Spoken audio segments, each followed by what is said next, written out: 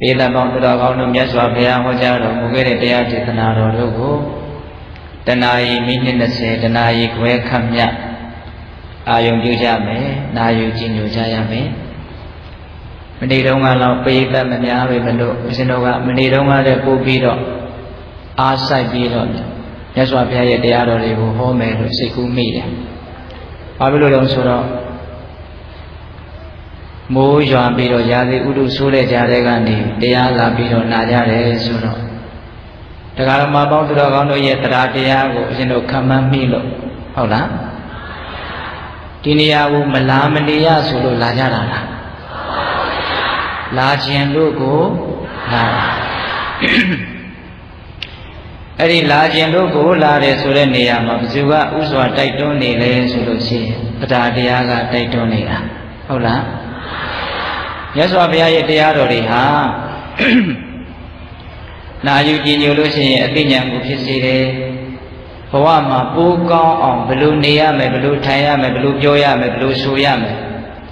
ဘယ်လိုစိတ်ကူးရမယ်ဘယ်လိုတွေးတောကြံစီရမယ်အစရှိသဖြင့်နေနည်းထိုင်နည်းပြောနည်းဆိုနည်းကို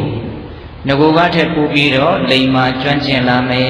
ကံဒီပိုးကောင်းလာမယ်ပေါ့နော်အဲ့ဒီလိုကံဒီပိုးကောင်းလာလို့ရှိရင် ကံကောင်းအောင်လုပ်ကြတဲ့ပုဂ္ဂိုလ်တွေပဲချမ်းသာကြမှာပဲမဟုတ်လားအဲ့ဒီလိုချမ်းသာလိမ့်မယ်တရားတော်ဟာချမ်းသာစေချမ်းသာမှန်ကိုပေးနိုင်တယ်လို့ယုံကြည်တဲ့တရားတရားရှိလို့ဒီနေရာကိုပိဿပေါင်းသူတော်ကောင်းတို့ရောက်လာကြတာဒါကြောင့်ပိဿပေါင်းသူတော်ကောင်းတို့ရဲ့တရားတရားသည်မဏိတုံးမှထက်ပုံမယ်လို့ဦးဇင်းထင်တယ်ဟုတ်လားဒါကြောင့်ဦးဇင်းတို့က မြတ်စွာဘုရားရဲ့တရားတော်တွေကိုတန်ဖိုးထားပြီးတော့ပိဿပေါင်းသူတော်ကောင်းတို့ကိုအပတရားပဲဟောပါအပတရားဟောမယ်ဆိုမှအတန်ကလည်းနည်းဝင်နေတယ်ဟဲ့ဒကမကြီးတွေသာသနာတော်နှစ်2554ခုကောသာတကိ1382ခုနတ်တော်လာဇန်၄ရက်နေ့ည တောင်တွင်ကြီးမြို့စိတ်ဓာတ်ဒုက္ခလူမှုကူညီရေးအသင်းကြီးရဲ့၅နှစ်ပြည့်အထိမ်းအမှတ်ဓမ္မသဘင်မှာဦးဇင်းတို့ဒီကနေ့73ညမြောက်ပေါ့73ရက်ညမြောက်ပေါ့နော်တရားပွဲမှာဒီလူရှင်များဖြစ်ကြတဲ့ကိုကြီးမောင်ဝင်းဒေါတန်တန်ဝင်းသာသမီမြေတစုဒီကုသိုလ်ရှင်တို့ရဲ့ကောင်းမှုကိုအကြောင်းပြုပြီးတော့ဒီကနေ့ညအတန်လူရှင်များဖြစ်ကြတဲ့ ကိုမိုးမိုးမက္ခိမာလွယ်မိသားစုအိုလံပစ်ဆိုင်ကယ်ပူပစ္စည်းရောင်းဝယ်ကြီး73စီလူရှင်များဖြစ်ကြတဲ့တကသာထွန်းအောင်မတ်တင်တင်မူသမီးမတ်ချိုစင်သာမိသားစုရိုက်လွဲ့လူရှင်များဖြစ်ကြတဲ့ဥမင်းနောင်တော်စမ်းမြင့်မင်းဆန်အိမ်ကုံစုံဆိုင်မိသားစု ပြည့်စုံမီလူရှင်များဖြစ်ကြတဲ့ဥတင်ဝင်းအားရည်စူး၍ဒေါခင်မြမြယရနာဆန်းဆက်လုပ်ငန်းမိသားစုကိုရဝိဇ္ဇလူရှင်များဖြစ်ကြတဲ့အလကနှစ်မိုးထိဆရာဆရာမများနဲ့ဝန်ထမ်းများအခမ်းအနားလူရှင်များဖြစ်ကြတဲ့ကံပါရီနဲ့ညီမြကပစ္စည်းနဲ့တရုတ်နေကိုပစ္စည်းရောင်းဝယ်ရေးမိသားစုပန်းလူရှင်များဖြစ်ကြတဲ့ဥလခင်မောင်ဒေါ်ရှိန်မိသားစု ဥခိုင်မင်းဒေါ်ချိုနှင်းဦးသမီးမဆုနှင်းလှိုင်သာမောင်မြတ်ထမင်းရွှေပစုံဆငပိရောင်းဝယ်ရေးမိသားစုတောက်ရည်တအလှရှင်ဥက္ကံထောတော်အုံးကြိုင်ပူလာစကားတောက်ရည်တမိသားစုတို့ရဲ့ပေါင်းစုပြီးတော့ပြုလုပ်ထားကြတဲ့ဒီကနေ့ညတရားပွဲမှာဦးဇင်းတို့ဓမ္မပဒပါဠိတော် မှာလာရှိတဲ့မြတ်စွာဘုရားပေးခဲ့တဲ့ဥပမာသာဂတာဝကတန်ယုတ်ပါဠိတော်မှာမြတ်စွာဘုရားကောသလမင်းကြီးကိုဟောကြားမှုဟောကြားတော်မူခဲ့တဲ့တရားဒေသနာပြီးတော့ဦးဇင်းတို့ခုဒကပါဠပါဠိတော်မှာမြတ်စွာဘုရားဟောကြားတော်မူခဲ့တဲ့နိတိကန္တသုတ်တံတရားဒေသနာဒီဒေသနာပေါင်းများစွာကိုအခြေခံပြီးတော့ပိဋကပေါင်းတော်ကောင်းတို့ကိုဦးဇင်းတို့ဒီကနေ့ည ခန္ဓာဆိုတာမြည်ဦးကုသိုလ်ဆိုတာရွှေဦးလို့အဲ့ဒါလိုတရားကောင်းစဉ်လေးတက်ပြီးတော့ပိဋကပေါင်းတော်ကောင်းတို့ကိုဒီကနေ့ညဓမ္မဒါနပြုပါဟုတ်လားတရားကောင်းစဉ်ကနည်းနည်းရှိတယ်ဒါပေမဲ့အတိပ္ပယ်အင်မတန်ကောင်းတယ်လို့ဦးဇင်းတို့ယူဆပါခန္ဓာဆိုတာမြေဦးကုသိုလ်ဆိုတာရွှေဦး ဒီခန္ဓာကိုယ်ကြီးဆိုတာမိမိကဘလောက်ပဲအမွှန်းတင်ယူရပြီးတော့တန်ဖိုးထားနေစေကမူမြေဦးတစ်လုံးလိုပဲအချိန်မကြီးကွဲပြက်သွားနိုင်တယ်ဘာအာမခံချက်မှမရှိဘူးဒါကြောင့်မြေအိုးတစ်လုံးပမာခိုင်မာမှုမရှိတဲ့ဒီခန္ဓာကိုယ်ကြီးမပြည့်စည်သေးခင်မှာမြင့်မြတ်စင်ကြယ်တဲ့အမှုတွေကောင်းမြတ်တဲ့အလုပ်တွေကိုလုံနိုင်လိုက်ဖို့မလိုအပ်ဘူးလား ကောင်းတဲ့အလုပ်တွေကိုလုံနိုင်ဖို့အတွက်မိမိခန္ဓာကိုယ်သူတစ်ပါးခန္ဓာကိုယ်ဒီမြေအိုးတစ်ဖွဲမခိုင်မာဘူးမပြည့်စည်ခင်မှာအရေးတကြီးကုသိုလ်ကောင်းမှုကိုလုပ်တဲ့နေလို့သဘောပေါက်စေဖို့အတွက်ခန္ဓာဆိုတာမြေအိုးနော်ကုသိုလ်ဆိုတာကြတော့ရွှေအိုးဆိုတာဘုမတန်ဘူးလားကုသိုလ်မှန်လို့ရှိရင်ဘယ်ကုသိုလ်ပဲဖြစ်စေကမူဒါနပဲဖြစ်ဖြစ်သီလပဲဖြစ်ဖြစ် သမာဓိပညာတို့ပဲဖြစ်ဖြစ်ဘယ်ကုသိုလ်မျိုးမဆိုယရနာရွှေအိုးတိုးကိုအားကိုးရတယ်လို့မျိုးမိမိဘဝရဲ့အခက်အခဲတွေကိုဖြေရှင်းသွားလိမ့်ဘဝတန်တရားကမှလွတ်မြောက်အောင်ကယ်တင်လိမ့်မယ်ဒါကြောင့်ကုသိုလ်ကောင်းမှုဆိုတာတန်ဖိုးဖြတ်လို့မရတဲ့တန်ဖိုးဖြတ်လို့မရဘူးဆိုပေမဲ့လို့လောကမှာအဖို့တန်ဆုံးယရနာတွေနဲ့ပဲဥပမာပေးရတာဟုတ်လား တကယ်စင်စစ်တော့ကုသိုလ်ဆိုတာရွှေအိုးထဲလဲပို့ပြီးတော့တန်ဖိုးကြီးပါတယ်သို့တော့မြတ်စွာဘုရားကိုယ်တိုင်နိရိကန္တသုံးပါ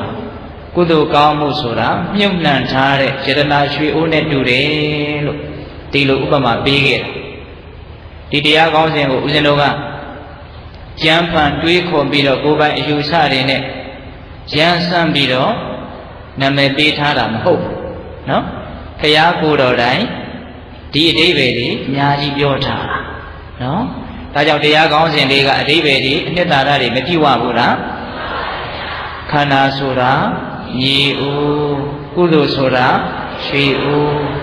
ဒီတရားကောင်းစဉ်လေးကိုပဲအမှတ်ရနေမယ်ဆိုရင်တရားဓမ္မပေါင်းသူတော်ကောင်းတို့သိကြတယ်ကုသိုလ်ကောင်းမှုတွေဖြစ်နေပြီဆိုတာနော်ဒါကြောင့်ဒီကနေ့ညဒီတရားတော်ကိုဦးဇင်းတို့ဟောကြားရနာကြားရအောင် တရားတော်ကိုမဟောကြားသေးခင်မနာကြသေးခင်မှာတရားတော်အလုံးကိုဟောကြားတော်မူခဲ့တဲ့ဘုရားရှင်ကိုယ်တော်မြတ်ရဲ့အင်မတန်အေးချမ်းကြည်လင်တော်မူတဲ့မဟာကရုဏာကိုတိတရားတရားလုံးစုံကိုသိတော်မူမြင်တော်မူတဲ့သဗ္ဗညုတဉာဏ်တိဟူသောပညာကိုထိုကရုဏာကိုပညာကိုနှစ်ပါးစုံတို့ဖြင့်ပြည့်စုံတော်မူတဲ့ဘုရားရှင်ကိုယ်တော်မြတ်ကိုယူသိမြတ်တို့ရှိခိုးပူဇော်ကြအောင်စို့ ကရုဏာတိတလဟရယံပညာပိသောတာဝိဟတမောဟဓမ္မသနရမရလောကကရုဏိတုကတံဂတိဝိမု ढ ံကရုဏာတိတလဟရယမဟာကရုဏာတော်ဖြင့်အေးမြသောစိတ်နှလုံးလေးရှိတော်မူပါဘိထသောပညာပိသောတဝိဟတမောဟဓမ္မ အရဟတမတိဟုသောအရာဝလင်းဖြင့်ဝိဇ္ဇာတိဟုသောမိုက်မောင်းကိုဖေခွာတော်မူပြီးထသောသာနရမရလောကကရုံလူနဲ့ပြမတတဝါနန္ဒတို့၏ကြောက်တီတန်တို့အလေးကလူပြုရာတဆူလီသောဆရာသခင်လေးဖြစ်တော်မူပါဘိထသောဂတိဝိမု ढ ံဒေဝမနုဿာနိရယနှင့် ပိဋတလိသံလာယရှင်ငါတံသောဂတိတို့မာလီသူတဖြင့်ကင်းလွတ်တော်မူပြီးထသောသူကတံတတဝါတို့အားအကျိုးများကြောင့်ဟုတ်မှသောစကားကောင်းကိုသာမြတ်စွာတော်မူပါဘိထသောဗုဒ္ဓံသစ္စာလေးရဲ့တရားမြတ်ကိုလက်ပေါ်တင်တာဗရမ ्या ကဲ့သို့ပြတ်သားတင်တင်သိမြင်ပေတတ်ဘုရားရှင်ကိုယ်တော်မြတ်ကြီးကိုမယံတရားဟောပုဂ္ဂိုလ်တရားနာပုဂ္ဂိုလ်ကိုဆိုပြညပရမမမှု ယုံနာတပြားဖြစ်ကြပါသောဘုရားတပည့်တော်တို့သည်ကိုနိဝနာမှာကာယဝစီမနောခြေဝေသုံးနေတော်ရပနာမဖြင့်ဒုက္ခယုကျိုးလက်ဆုံးမူကားရှိကိုဥညွတ်ပါ၏မြတ်စွာဘုရား။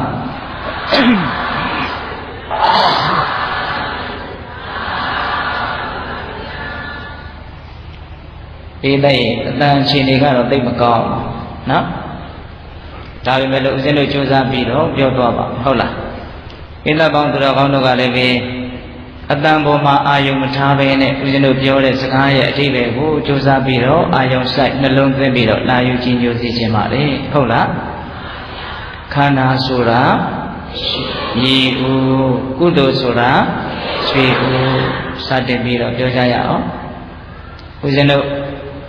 ဝိသုဒ္ဓအောင်စတော်ဘုရားကြီးဆိုတာဒီပိသပေါင်းတော်ကောင်းတို့ကြားဘူးကြပါ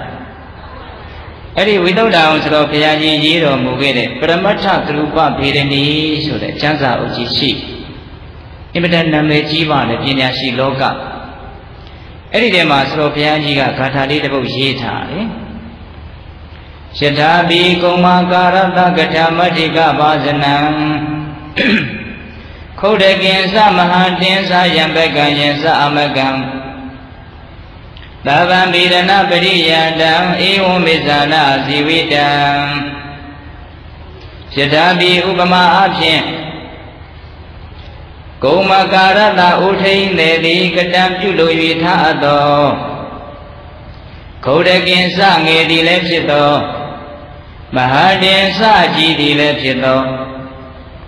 ယံဘက်ကအကျင့်ဖုံးအပ်ပြီးပြီးဖြစ်၍ကျေပြီးသားဖြစ်သောယမတိကပါဒနာအကျင့်မြည်ဥမြည်ခွတ်တို့သည်ယံအမကင်စမဖုံးရသေးတဲ့ဖြင့်အစိမ့်ဖြစ်၍နေသောယမတိကပါဒနာအကျင့်မြည်ဥမြည်ခွတ်တို့သည်အဋ္ဌိတန်တိရှိကြပေကုန်၏သဗ္ဗလုံးစုံကုန်သောဓမ္မတိကပါဒနာထိုမြည်ဥမြည်ခွတ်အလုံးစုံတို့သည်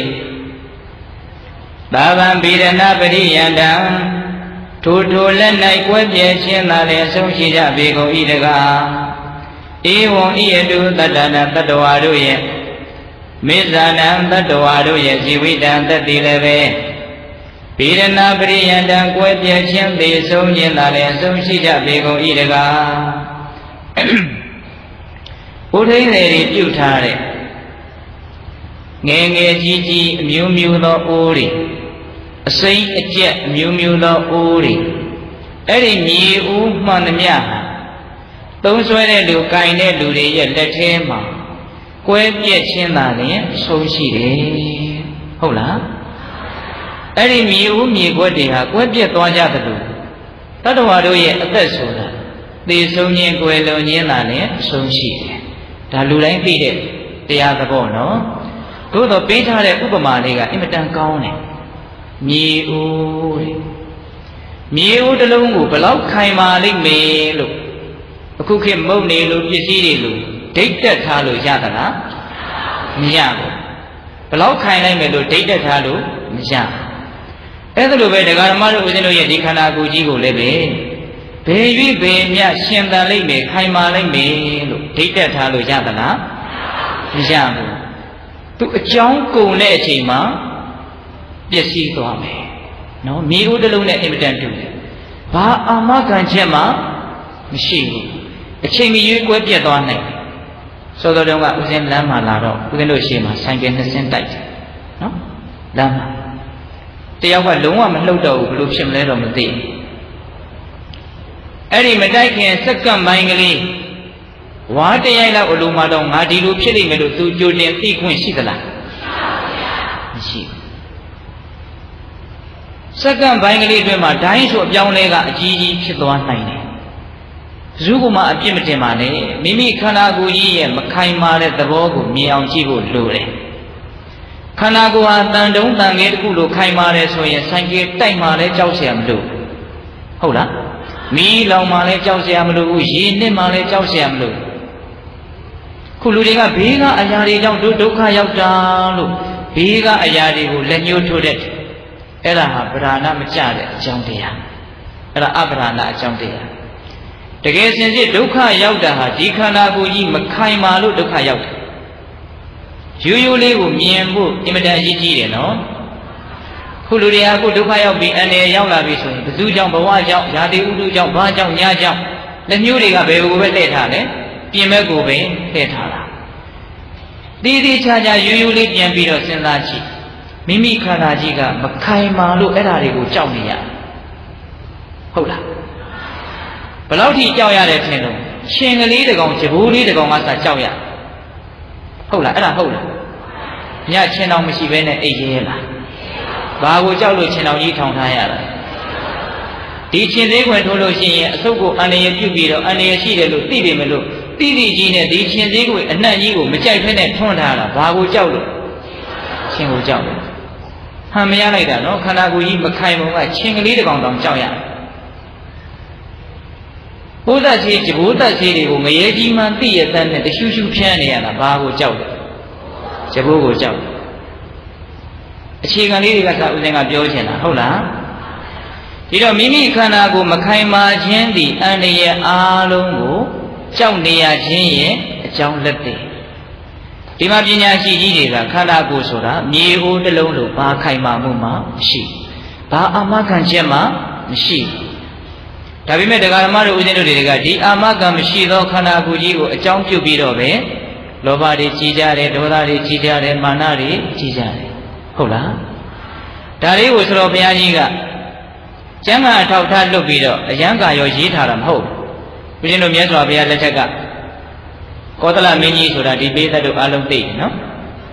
အဲ့ဒီကောသလမင်းကြီးကတနေ့တော့နေလေကောင်ကြီးနှွေနေတဲ့ကောင်ကြီးချွေတန်ရွယ်ရွယ်နဲ့မြတ်စွာဘုရားရှိကိုရောက်သွားလာရောက်သွားတော့မြတ်စွာဘုရားကတခါကြီးနေကပူနဲ့ဗာကိစ္စနဲ့ရောက်လာတာတို့မှန်လားပါဗျာဘုရားတပည့်တော်ရဲ့အသက်120ရှိပြီဖြစ်တဲ့အင်မတန်ချစ်တဲ့ တပည့်တော်ရဲ့အဖွာဒီကနေ့ကိုယ်တော်အိဋ္ဌာရောက်တယ်ဗျာတပည့်တော်ကိုအင်မတန်သူကလည်းချစ်တယ်တပည့်တော်ကလည်းသူ့ကိုအင်မတန်ချစ်တယ်အဲ့ဒါတပည့်တော်ဘယ်လိုမှမတတ်နိုင်လို့သာဒီအဖွာကိုလက်လွတ်လိုက်ရအကယ်၍များတပည့်တော်လေတသိန်းလောက်တန်တဲ့ဆင်ကြီးတကောင်နဲ့လဲလို့ရမယ်ဆိုတပည့်တော်လဲမှာမြင်းရတနာနဲ့လဲလို့ရရင်တပည့်တော်လဲမှာဗျတသိန်းလောက်အခွန်ထွက်တဲ့ရွာကြီးနဲ့လဲလို့ရမယ်ဆိုရင်တပည့်တော်လဲမှာ ခုဘလို့မှမတတ်နိုင်လို့တပည့်တော်လွတ်လိုက်ရတယ်တပည့်တော်စိတ်မကောင်းဘူးအဲ့ဒီမှာမြတ်စွာဘုရားကတခါကြီးတတ္တဝါတွေဆိုတာသိခြင်းသဘောတရားကိုဘယ်သူမှမလွန်ဆန်းနိုင်ဘူးတနေ့ကျတော့သိချင်ရတာရှိပဲသိခြင်းသဘောတရားဆိုတာတတ္တဝါတို့ရဲ့ဓမ္မတာသဘောတရားဖြစ်တယ်ဖြစ်ရိုးဖြစ်စဉ်ပဲလို့အဲ့ဒီလိုပြောတော့ကောသလမင်းကြီးကခံစားချက်ကလည်းရှိနေတာဆိုတော့ မှန်လားပါဗျာမြတ်စွာဘုရားအင်မတန်ကောင်းသောစကားကိုမိန့်တော်မူပါတယ်ဗျာမြတ်စွာဘုရားရဲ့စကားဟာအင်မတန်ကောင်းပါတယ်အင်မတန်မှန်ပါတယ်ဆိုတော့အဲ့ဒီမှာမြတ်စွာဘုရားကမဟာရာဇမြတ်သောမင်းကြီးသေယတာပိဥပမာအဖြစ်ယာနိကာနိစီအမျိုးမျိုးကုန်သောကတမတိကဝါဒနံဥဒိန်လေတို့သည်ပြုလို့၍ထသောဘာဒနာတိမြေဟုမြေခွက်တို့သည် ဗေဒနာကွက်ပြည့်ခြင်းဗေဒနာကွက်ပြည့်ခြင်းသဘောတရားရှိဗေဒနာပရိယတကွက်ပြည့်ခြင်းသာလည်းဆုံးရှိကြကုန်၏ဗေဒနာကွက်ပြည့်ခြင်းကိုနာတိတောတိမလွန်မြောက်နိုင်ဘူးမြေဦးတွေဆိုတာကွဲခြင်းအဆုံးရှိတယ်ကွဲခြင်းကိုဘယ်မြေဦးမှမလွန်ဆန်နိုင်ဘူးမကျော်လွှားနိုင်ဧဝမေဝခောဤအတူသာလည်းယင်မေဇဏတတ္တဝါတို့ဤဇီဝိတံတတိလိ မရဏပရိယတံသေခြင်းသာလည်းဆုံးရှိမရဏသေခြင်းကိုနတ္တိတောတိပဲနည်းနဲ့မှမလွန်မြောက်နိုင်ဘူးအဲ့ဒီလိုပဲတတ္တဝါတွေရဲ့အသက်ဆိုတာသေဆုံးခြင်းသဘောတရားသာရှိတယ်သေခြင်းသဘောတရားကိုဘယ်လိုမှမလွန်နိုင်ဘူးလို့မြတ်စွာဘုရားကအဲ့ဒီမှာဟောတာအဲ့ဒါဘုရားပေးခဲ့တဲ့ဥပမာတရားဓမ္မတို့ဦးဇင်းတို့ရဲ့ခန္ဓာကိုယ်ဒီမြေဦးသပွဲမခိုင်ပါဘူးဆိုတာဘယ်သူပေးခဲ့တာလဲဒီဥပမာကို မြတ်စွာဘုရားပေးခဲ့တာအချိန်မီပျက်စီးသွားနိုင်တယ်အဲ့ဒီပျက်စီးသွားနိုင်တယ်ဆိုတာကိုတိတိတိတိနေလို့ရှိရင်လေအင်မတန်မြင့်မြတ်သောအတွေ့အကြုံဒီမကွဲခင်လေးမှာကောင်းတာလုပ်မယ်ဆိုတဲ့စိတ်ဒီတွန်းအားတွေအများကြီးဖြစ်လာပြီးတော့အဆင့်မြင့်တဲ့လူတယောက်သေချာပေါဖြစ်နိုင်တယ်နော်ဒါကြောင့်ရှင်းတော့ကပညာရှိကြီးတွေကသိခြင်းတရားဆိုတာလေးတစ်ခုကိုစဉ်းစားရင် အင်မတန်မြင့်မြတ်တဲ့လူတယောက်ဖြစ်လာနိုင်တယ်လို့ဒီလိုပြောခဲ့တာအကြောင်းမဲ့ပြောတာမဟုတ်ဟုတ်လားခုတက္ကမတို့ဦးဇင်းတို့တွေကသိခြင်းသဘောတရားဟာအချိန်မီရောက်လာနိုင်တယ်ဆိုတာကိုတတိမထားမိတော့ပုထုဇဉ်သဘာဝလူချင်းမမမှုတွေအများကြီးဖြစ်လာတယ်ဟုတ်လားမကျေနပ်မှုဒေါသတွေအများကြီးဖြစ်လာတယ်ဒီစည်းစိမ်ဒီအချွေရန်ဒီအကျော်စောတွေကိုအကြောင်းပြုတ်ပြီးတော့ မေးလျော်မှုတွေလည်းဖြစ်တယ်မကောင်းမှုတွေကိုလည်းပြောရနေတယ်လုပ်ရနေတယ်နော်ဒါကြောင့်မြတ်စွာဘုရားကလေသိရင်သဘောတရားကိုသာအမှတ်ရမယ်ဆိုရင်မကောင်းတာကိုကြောက်ကိုကြောက်တယ်ကောင်းတာကိုမြတ်ကိုမြတ်လို့တယ်မြတ်စွာဘုရားလက်ထက်ကကုံတယ်ကြီးတစ်ယောက်ရှိဘုရားတော်အခုခေတ်ဆိုလို့ရှိရင်တော့ဟိုအဝတ်စားမျိုးစုံကိုလှည့်လည်ရောင်းချတဲ့ကုံတယ်ကြီးပေါ့ပတ်စံလည်းအင်မတန်ချမ်းသာမှာဒီနေ့တော့အဲ့ဒီကုံတယ်ကြီးက ဗာရဏတိပြည်ကသူကတာတိတာဝိတိဘက်ကိုလာရင်းနဲ့မြေကမ်းဘေးတစ်ခုမှသူနားပြီးတော့နေတာအဲ့ဒီလိုနားနေတော့မူကြီးတိထန်စွာရွာတယ်ရွာတဲ့အခါကျတော့အဲ့ဒီမြေကရေတွေအကုန်လုံးရှမ်းပြီးတော့သူဟိုဘက်ကန်းကိုကူးလို့မရတော့အဲ့ဒါနဲ့သူကစဉ်းစားတယ်ငါဟိုဘက်ကန်းကိုကူးပြီးတော့ပစ္စည်းတွေသွားပြီးတော့ပို့မယ်ယူမယ်ဆိုလို့ရှိရင်အချိန်ကြီးအများကြီးကြာနေလိမ့်မယ် အဲ့ဒီတော့မထူးပါဘူးဒီမှာလဲရောင်းချလို့ကောင်းနေတာပဲဟောဒီမြေကမ်းဘေးကအရေးကောင်းတဲ့သစ်ပင်ကြီးအောက်မှာပဲငါရဲ့လှဲတွေကိုသရေချပြီးတော့ဒီသာဝိထိမြို့မှာပဲမူးလေးလပတ်လုံးဆောင်းလေးလပတ်လုံးຫນွေလေးလပတ်လုံးငါနေပြီးတော့စီးပွားရေးလုပ်မယ်လို့အဲ့ဒါလို့စဉ်းစားပြီးတော့သူ့ရဲ့လက်အောက်ငယ်သားတွေနဲ့အဲ့ဒီလှဲဝိုင်းကြီးထဲမှာသူချက်ပြုတ်စားတော့ပြီးတော့နေနေတာတနေ့တော့မြတ်စွာဘုရားကလေ အဲ့ဒီနားကိုဆုံးကကြွရင်းနဲ့ရောက်လာတာရောက်လာတော့အဲ့ဒီကုံတယ်ကြီးကိုကြည့်ပြီးတော့မြတ်စွာဘုရားပြုံးတယ်ဣတိတ်မြတ်စွာဘုရားကအကြောင်းမဲ့အလကားသားအလုပ်ကိုဘာမှမလုပ်အဲ့ဒီမှာမြတ်စွာဘုရားပြုံးတော့မြတ်စွာဘုရားရဲ့ဒီသွားတော်ကနေပြီးတော့ဩရာဒဆိုတဲ့ဖြူတဲ့ရောင်ကြီးတွေဟာလျှက်စီးလက်တယ်လို့ဝင်းကနေဖြစ်သွားတာအဲ့ဒါကိုရှင်အနန္ဒာနောက်ကနေပြီးတော့မြင်တော့ဘုရားပြုံးတယ်ဆိုတာသိပြီးတော့မြတ်စွာဘုရားကိုမေးတာရှင်ဘုရား ဘယ်အကြောင်းကြောင့်ပြုံးတော်မူမှာတလဲအဲ့ဒီမှာမြတ်စွာဘုရားကအာနန္ဒာဒီကုံတဲ့ကြီးကိုကြည်စမ်းတဲ့သူအမျိုးမျိုးစဉ်းစားနေတာဟောဒီမှာပဲငါမိုးလေးလားနေမယ်ဆောင်းလေးလားနေမယ်တွေလေးလားနေမယ်လို့သူစဉ်းစားနေတာတကယ်စင်စစ်သူ့ရဲ့အသက်ဟာ9ရက်နေ့မြောက်မှာသူသေလိမ့်မယ်ဘုရားမြင်တယ်နော်ဒါပေမဲ့ကုံတဲ့ကြီးကမြင်သလားမမြင်တဲ့အခါကျတော့ ဘာတွေလုပ်မယ်ဘာတွေလုပ်မယ်လို့စဉ်းစားချက်တွေကအများကြီးဖြစ်နေတာဗမာစကားပုံလေးရှိတယ်မို့လားငှက်ပြန်ရင်သိလူကြံရင်သိကြမ်းနေတာကြမ်းနေတာအဲ့ဒါနဲ့မြတ်စွာဘုရားကသူဘယ်လိုပဲအချိန်ကြီးယူပြီးတော့စဉ်းစားစေကမို့သူ့ရဲ့အသက်က9ရက်ပဲရှိတော့တယ်ဒါကိုမြင်လို့ငါပြုံးတာအဲ့ဒီမှာမြတ်စွာဘုရားကိုရှင်အနန္ဒာကရှင်ဘုရားတပည့်တော်အဲ့လိုဆိုရင်အင်မတန်သနာပါတယ်ဘုရားတပည့်တော်သွားပြောချင်တယ် အဲ့ဒီလိုဆိုရင်သွားပြီးတော့ရေးရေးကြီးသာပြောချင်ဘုရားကအာမခံနဲ့လွတ်တာနော်အဲ့ဒါနဲ့ရှင်အနန္ဒာကတပိတ်ကလေးပိုင်ပြီးတော့အဲ့ဒီကုံတယ်ကြီးနားကိုရောက်လာတာရောက်လာပြီးတော့တခါကြီးဘာတွေလုပ်နေတော့တပည့်တော်ဒီလိုပဲဘုရားတခါကြီးအလုံးလုံးတာတော့ဟုတ်တယ်ဒါပေမဲ့အသက်အန္တရာယ်ဆိုတာမြင်နိုင်သေးတယ်တွေ့ဝိုက်ပြီးတော့ပြောနေတာတော့ဒေရူးကြီးမပြောဘူးအဲ့တော့ကုံတယ်ကြီးက ဒီမထေမြတ်ကငါ့ကိုတကူးတကလာပြီးတော့ပြောတယ်ဆိုတော့အကြောင်းရှိမနဲ့တူတယ်သူကလည်းဉာဏ်ရှိတဲ့လူပဲရှင်ဘုရားရှင်ဘုရားတို့ယဟန်သူမြတ်တွေဆိုတာအင်မတန်အမြင်ကြီးပါတယ်ဗျာတပည့်တော်ရဲ့အသက်အန္တရာယ်ကိုမြတ်အရှင်ဘုရားတို့မြင်မလားအေးမြင်တယ်ဘယ်သူမြင်တော့ဘုရားမြတ်စွာဘုရားမြင်တခါကြီးဟာအလွန်ဆုံး9ရက်ပဲရှင်တော့မယ်လို့ဘုရုမြတ်စွာဘုရားပြောတယ်အဲ့တော့တခါကြီးတိုးတော်ကိုထိတ်လန့်သွားတယ် စောတော်တုန်းကအကြံတွေလုံးဝမရှိတော့ကုံကူအောင်မယ်လေးလားလောက်နေအောင်မယ်လေးလားလောက်နေအောင်မယ်ဘာလုပ်မယ်ဘာပြီးရင်ဘာလုပ်မယ်လို့အလုတ်ကိုဇရာတွေချပြီးတဲ့ဘာတွေချနေတာဒကာဓမ္မတို့ဦးဇင်းတို့တွေလည်းဇရာတွေချပြီးတော့မလုပ်ဘူးလားဘယ်နေ့ကိုဘာလုပ်မယ်ဘယ်တော့ဘာလုပ်မယ်ဘာလုပ်မယ်ဘာပြီးရင်ဘာလုပ်အောင်မယ်ဘယ်သူကိုဘယ်လိုပြောမေးဘယ်အချိန်မှသိရမယ်ဆိုတဲ့အကွက်ကြတော့ဇရာထဲမှာပါမလား အဲ့ဒါကြောင့်မို့လို့ပဲမိမိရောရောပေါ်ပေါ်တန်တန်နေနိုင်ကြတာပဲလေတူတူကိုကိုဟုတ်လားအင်းအဲ့ဒါနဲ့ကုံတယ်ကြီးကထိတ်လန့်ပြီးတော့အဲ့ဒီလိုဆိုတပည့်တော်ဘာလို့เสียလို့တော့လဲဗျာကောင်းမှုကိုဘယ်တပည့်တော်ကြိုးစားပြီးတော့လုပ်ရတော့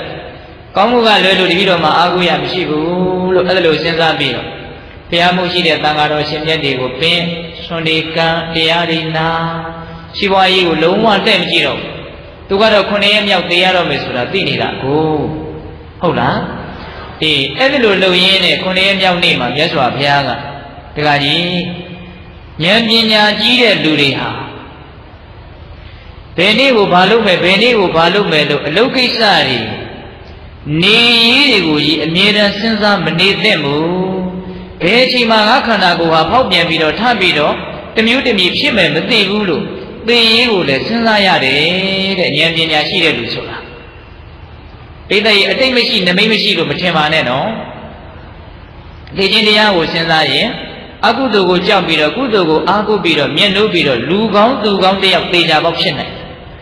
အင်မတန်လဲအားတက်လာဘယ်လိုနည်းနဲ့အားတက်လာလဲဆိုတော့ဘဝကိုပို့ပြီးတော့တန်ဖိုးထားလာတယ်။ဘာပဲချင်းသိရမသိဘူး။မသိခင်လေးကိုအင်မတန်တန်ဖိုးထားလာတယ်။ ခုလူတွေကသိရတော့မယ်ဆိုတာကိုမစင်စားတော့ဒီနေရတဲ့အချိန်ကိုသိပြီးတော့တန်ဖိုးမထားဘူး။ဆိုကြပါစို့အခုချိန်မှလေယောဂအကြီးအကျယ်ဆွဲပြီးတော့ဟိုအိမ်မှာရှိတဲ့စီးစိမ်တွေအကုန်ကုန်မှဒီယောဂပျောက်မယ်။ဒါမှသင်မသေးမှာလို့ဆိုလို့ရှိရင်စီးစိမ်တွေနဲ့ဘာလို့မှလဲမှာနော်။ဘာဖြစ်လို့လဲရှင်ញင်လို့မသေးခြင်းလို့ရှင်ញင်ကိုအဲ့ဒါလောက်တန်ဖိုးထားတယ်နော်။အခုရှင်းနေပါတယ်။ကဲဘာမှမဖြစ်ဘူးရှင်းနေပါတယ်။အ ခုရှင်းနေတဲ့အချိန်မှာရှင်ញင်သဘောတရားကိုတန်ဖိုးထားသလား။လူတွေကဘယ်အချိန်ကျမှရှင်တန်ခြင်းကိုတန်ဖိုးထားမှလဲဆိုတော့သေတော့မယ်ဆိုမှရှင်တန်ခြင်းကိုတန်ဖိုးထားကြတာ။အဲ့ဒါတော်တော်ဝမ်းနည်းစရာကောင်းတဲ့ကိစ္စ။သေတော့မယ်ဆိုမှမသေးအောင်စီစဉ်နေကုန်ကုန်ဘာတွေဖြစ်ဖြစ်ငိုကြယိုကြတေရင်တရားကိုရင်ဆိုင်ပြီးတော့ရှင်သန်ခြင်းကိုဆွဲဆန့်ကျင်တယ်အဲ့ဒီကြတော့အဲ့ဒီကြတော့ရသေးလားမရဘူး ဒါကြောင့်တေခြင်းတရားကိုစဉ်းစားလို့ရှိရင်နေရတဲ့အချိန်လေးကိုသိပြီးတော့တန်ဖိုးထားတယ်တန်ဖိုးရှိအောင်လည်းကြိုးစားတယ်ဒါကြောင့်အဲ့ဒီတကာကြီးကိုမြတ်စွာဘုရားကအဲ့ဒါလိုမိန့်ပြီးတော့ဣဒဝတ္တဝိသိသမဣဒဟိမန္တဂိမိတုဣဒဝတ္တဝိသိသမဣဒဟိမန္တဂိမိတုဣတိဘာလောဝိစိန်တိတိအန္တရာယောနဗုဇတိဣရာဤယတိသ၌ဝတ္တဝတ္တံ ဝတ္တံဘူလေလကလပလဝိသိတမိငါနေဥအဣရာဧယနဟေမန္တဂိမိတုဆောင်းလေးလာတွေလေးလာတို့ကာလပတ်လုံးဝိသိတမငါနေဥအံဣတိဤသို့ဘာလို့မတိသောပုဂ္ဂိုလ်သည်ဝိစိန်ဒီသိအထူးထူးကြံစည်ပြီးတော့နေတယ်မသိတဲ့လူဟာငါဘလို့နေမယ်ဘလို့နေမယ်လို့နေရေးတွေကိုပဲအမြဲတမ်းစဉ်းစားနေတယ်အန္တရာယောနာဘုစတိ ဘယ်အချိန်မှသိရင်တရားဒီဟုသောအန္တရာယ်ရောက်လာလိမ့်မယ်ဆိုတာကြတော့ तू မသိဘူးတဲ့မစဉ်းစားဘူးတဲ့အဲ့ဒီဂါထာလေးလေဟောလိုက်ရော့အဲ့ဒီတကာကြီးဟာတဝေကဉာဏ်ဒီကုသိုလ်ကိုမြင်နိုးနေတဲ့စိတ်တွေအကုသိုလ်ကိုဆက်ဆုပ်နေတဲ့စိတ်တွေအရင်ခံထားတာဆိုတော့တခါတည်းသောတာပန်ဖြစ်တယ်အဲ့ဒီမှာဆွမ်းကပ်ပြီးတော့မြတ်စွာဘုရားအနုမောဒနာတရားဟောပြီးတော့ကျောင်းတော်ကိုပြန်ကြွသူလိုက်ပို့တယ်လိုက်ပို့ပြီးတော့အပြန်မှာ ခေါင်းမူးတယ်ခေါင်းမူးတယ်ဆိုပြီးတော့အိယာပေါ်မှာအိတ်ရင်းနဲ့အဲ့ဒီတကာကြီးကွယ်လို့အိဋ္ဌာရောက်တယ်တုတိတာနတ်ပြည်ကိုရောက်တယ်လို့ဆိုတယ်အဲ့ဒီတော့သင်ခြင်းသဘောတရားကိုသိရတာစဉ်းစားရတာလူတယောက်ကိုကောင်းတာလုပ်ဖို့အတွက်အများကြီးတွန်းအားမပေးဘူးလားပြီးတယ်အမျိုးမျိုးအမြင်တွေအများကြီးပြောင်းသွားနိုင်တယ်ဦးဇင်းတို့ကျမ်းဂန်ထဲမှာ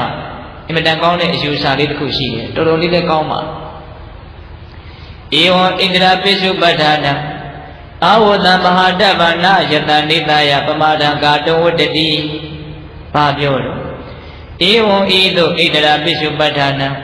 တသက်လျာမြတာဖြစ်သောအာဝတံမချုဧကအမှန်အဖြစ်ပဟာတဗ္ဗံစွန့်ခွာသွားရမည်လည်းဖြစ်သောနော်ဒီခန္ဓာကိုယ်ကြီးရဲ့စီစိတ်တွေဟာတသက်တရားပဲသေချာပေါက်စွန့်သွားရနော်အဲ့ဒီလိုသေချာပေါက်စွန့်သွားရမယ် ယတံအချွေရန်အကျော်သောစီစိတ်တွေကိုနေတရအမိပြု၍ပမာဒံမေးလျောခြင်းကိုကာတုံပြုခြင်းကနဝတ္တိမသိပါပေသေချာပေါက်စွန့်သွားရမယ်ဒီစီစိတ်တွေဒီချမ်းသာတွေဒီလူဘဝတွေနော်သေချာပေါက်တသက်လျာပြီးရင်ပြီးရမယ်ဒီအရာတွေကိုအကြောင်းပြုပြီးတော့ကုသိုလ်တွေကိုမေ့ညင်မြတ်တာတွေကိုမေ့အကုသိုလ်တွေကိုလုပ်ပြီးတော့နေပဲဆိုရင်ဒါမသိတော့ပါဘူးတဲ့ ယူယူလေးနော်ဒကာကြီးဒီမိုက်မြတ်သေချာပေါက်စွန့်သွားရမယ့်အရာတွေကိုအကြောင်းပြုပြီးတော့မေ့ရတာဟာမကောင်းပါဘူးတဲ့မစင်သားတဲ့မူလားအဲ့ဒါလိုစင်သားချက်ကလေးတွေစင်သားတဲ့နေနော်ဒါကြောင့်ဦးဇင်းတို့ခန္ဓာဆိုတာမြေဦးတစ်လုံးလို့ပဲလို့စဉ်းစားရင်မြင့်မြတ်တဲ့လူတယောက်ဖြစ်လာနိုင်တယ်လို့လူရင်းဒါလေးပြောခြင်းတရားရဲ့ပထမပိုင်းခန္ဓာဆိုတာညီဦး မခိုင်ပါဘူးလို့အမြဲတမ်းစဉ်းစားရအဲ့ဒီလိုစဉ်းစားရင်မြင့်မြတ်စင်ကြယ်တဲ့လူတယောက်သေချာပေါက်ဖြစ်နိုင်တယ်နော်နောက်ပြီးတော့တရားကောင်းစဉ်ဒုတိယပိုင်းကဘာတဲ့တော့ကုသိုလ်ဆိုတာရွှေဦးတဲ့အဲ့ဒါလည်းမြတ်စွာဘုရားကိုယ်တိုင်ဟောခဲ့တာဟောခြင်းရဲ့အကြောင်းလေးကစိတ်ဝင်စားစရာကောင်းတယ်မြတ်စွာဘုရားတခုသောနေ့တဝိတိမြို့တွေကတတိတူကမြတ်စွာဘုရားကိုဆွမ်းစားပင့် ဆွမ်းစားပင့်တော့ရဟန်းတန်ခါပေါင်းများစွာချမ်းချမ်းပြီးတော့အဲ့ဒီတတိရဲ့အိမ်ကိုမြတ်စွာဘုရားဆွမ်းစားကြွအဲ့ဒီမှာအဲ့ဒီတတိကတ်တဲ့ဆွမ်းလေးပါးဒီဖုံးပေးပြီးတော့ဆွမ်းအနုမောဒနာတရားမြတ်စွာဘုရားဟောတာအဲ့ဒီလိုဟောနေတော့ကောသလမင်းကြီးကတိုင်းပြည်ရဲ့ဗန္ဓာကြီးတွေဘာတွေနဲ့ပတ်သက်ပြီးတော့ဒီတတိနဲ့တိုင်ပင်ဆွေးနွေးเสียရှိအဲ့ဒါကြောင့်မလို့မင်းကြီးယောက်ျားတစ်ယောက်ကိုအဲ့ဒီတတိအိမ်ကိုလွတ်ပြီးတော့ အဲ့ဒီတတိကိုဘင်းကြီးမိန့်တော်မူတယ်ခေါ်တော်မူတယ်သွားပြီးတော့ခေါ်ကြည့်လို့ခိုင်းလိုက်အဲ့ဒါနဲ့အဲ့ဒီမင်းကြီးကခုနတုန်းကမြတ်စွာဘုရားကိုဆုံးကတ်နေတဲ့တတိကြီးရဲ့အိမ်ကိုရောက်လာတာရောက်လာပြီးတော့အရှင်တတိမင်းဘယင်မင်းတရားခေါ်တော်မူတယ်အဲ့တော့တတိကြီးကဘာပြောတော့ဆိုတော့မင်းကြီးယောက်ျားခဏလောက်ဆောင်းပါဦးငါအင်မတန်အဖို့တန်တဲ့ယတနာရွှေဦးတွေကိုမြုပ်နှံစေကာလပဲရှိပါသေးယ တနာရွှေဦးတွေကိုငါမြုပ်လို့မပြီးသေးပါဘူးဒါကြောင့်ယတနာရွှေဦးတွေမြုပ်လို့ပြီးအောင်ငါ့ကိုခဏလောက်ဆိုင်ပါဦးလို့ဒီလိုရင်ရင်ကြီးကြီးပြန်ပြောတာပြောတော့အဲ့ဒီမင်းကြီးကလည်းထိုင်းပြီးတော့စောက်အဲ့ဒီလိုတတိကြီးကအဲ့ဒီမင်းကြီးယောက်ျားကိုအဓိပ္ပာယ်အင်မတန်ပါတဲ့စကားကိုပြောတာမြတ်စွာဘုရားကြားတယ်ကြားတဲ့အတွက်ကြောင့်မြတ်စွာဘုရားကနိတိကန္တသုတ်တံဆိုပြီးတော့အဲ့ဒီတတိကြီးကိုအကြောင်းပြုပြီးတော့အဲ့ဒီနားမှာရှိတဲ့ပရိသတ်ကို ဟောတာဂါထာတွေအများကြီးပဲပြည့်တဲ့အင်မတန်ကောင်းလို့ဒီဂါထာတွေကိုအင်မတန်ငယ်ငယ်လေးတွေကစပြီးတော့ဟောလေ့ကျက်ထားတာပေါ့လေဒါပေမဲ့လို့အတန်ကဝင်းနေတော့ဘွားကြရွတ်ရဟင်ဒကာကြီးဒီမကြီးများဒကာကြီးဒီမကြီးများကိုတေးသေးချာချာအာကျုံမှန်တဲ့ပြောမယ်ဆိုတော့မှ gain အကြောင်းတရားတွေကအဲ့လိုဖြစ်လာတာဟုတ်လားဒါပေမဲ့သိခံပြီးတော့နားထောင်ကြည့်ပေါ့နော်မြတ်စွာဘုရားရဲ့တရားတော် အဲ့ဒီမှာမြတ်စွာဘုရားဘယ်ကနေစပြီးတော့ပြောတော့ဆိုတော့နိဒိနိဒိတိပုရိသောကံပိရိဩတကံတိအဋ္ဌိကိရှိသမုပ္ပန္နိအထာယမိဘဝိတတိကာပတိဥကိရှင်ဒါယကတတိမင်း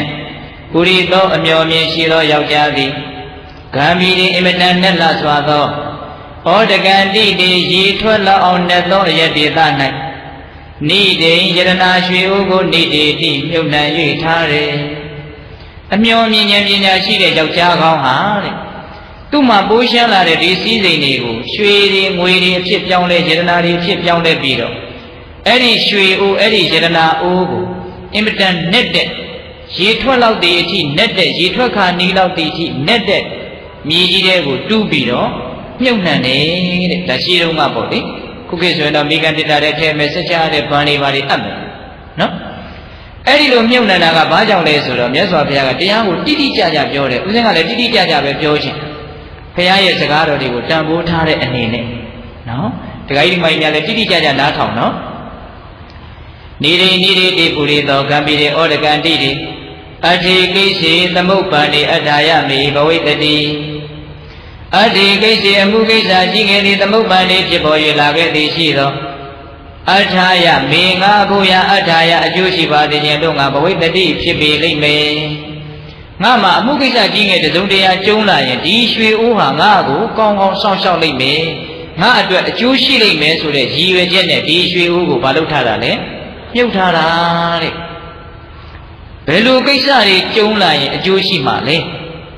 ဘုရားကနော်လောကီပစ္စည်းမြုပ်နှံတာလောကီပစ္စည်းသိမ်းဆဲတာတော့နီလံပေးတာမြတ်စွာဘုရားရဲ့ကရုဏာတော် အမြဲတမ်းကြည်ညိုစရာကောင်းပါသာဇာတော်ဝတုရုဒ္ဒတသောရတော်ပိဋိတသဝါဣနသဝါပမောက္ခာယဒုဗိကေအာဗရာတုဝါဣဒတထာယလောကသမိန်နိရိနာမနိရိယတိသာဇာတော်ဝါရာဇာတော်ဝါဒုရုဒ္ဒတဂုံတိုက်တဲ့ပုဂ္ဂိုလ်တို့ရဲ့ပြီးကြောင့်ရာဇာတော်မင်းနေနဲ့ပฏิပက္ခဖြစ်တဲ့အခါကာလမှာ ငါ့ကိုအမြင်ကတ်တဲ့လူကအစိုးရမင်းများနဲ့ငါ့ကိုမတည့်အောင်ဈာထဲကနေဂုံတကားတွေပြောလို့ဘယင်မင်းမြတ်ဒီအစိုးရမင်းတွေက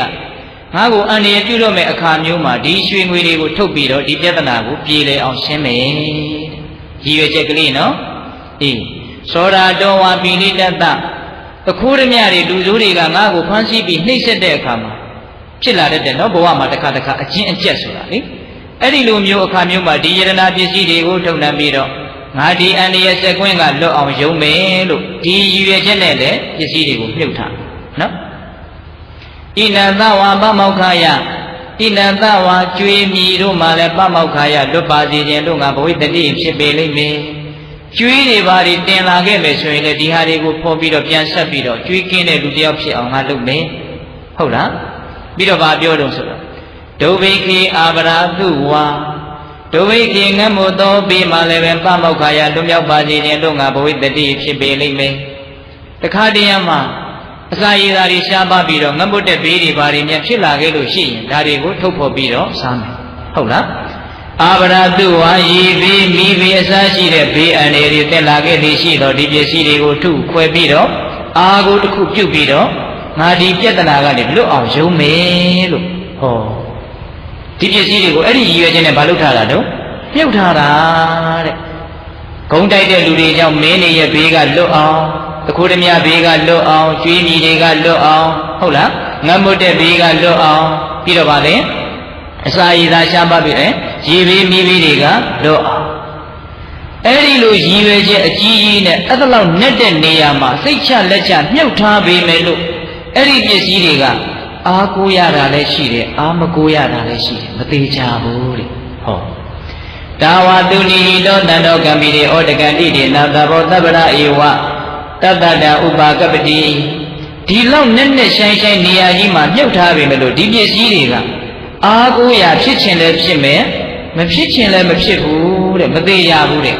ဘာကြောင့်မသေးကြသလဲတဲ့ဒါလေးကိုလည်းမြတ်စွာဘုရားကပြောပြထား ကုသိုလ်ဒီဟုသောရွှေဥကတော့သေကြတယ်ဟိအဲ့ဒါကိုပေါ်လွင်စေခြင်းလို့လောကီပစ္စည်းကတော့သိမ့်မသေးကြဘူးဆိုတာတွေကိုအရင်ပြောနေတာနော်သဘောပေါက်လားဒီလိုနေသဘောပေါက်လားလောကီပစ္စည်းတွေရဲ့စိတ်မချရတဲ့အကြောင်းမသေးကြတဲ့အကြောင်းကိုအရင်ပြောနေတာနော်အေးအဲ့ဒီမှာမြတ်စွာဘုရားကမသေးကြဘုံကလေးတွေကိုဘယ်လိုဆက်ပြီးတော့ပြောသလဲဆိုတော့ဟောဒီပစ္စည်းတွေဟာတဲ့နိဒီဝါဌာနဇဝတိ ပညာဝတ္တဝိမု ෂ တိနာဂဝပနာမေနိယခဝပိဟရတိနံ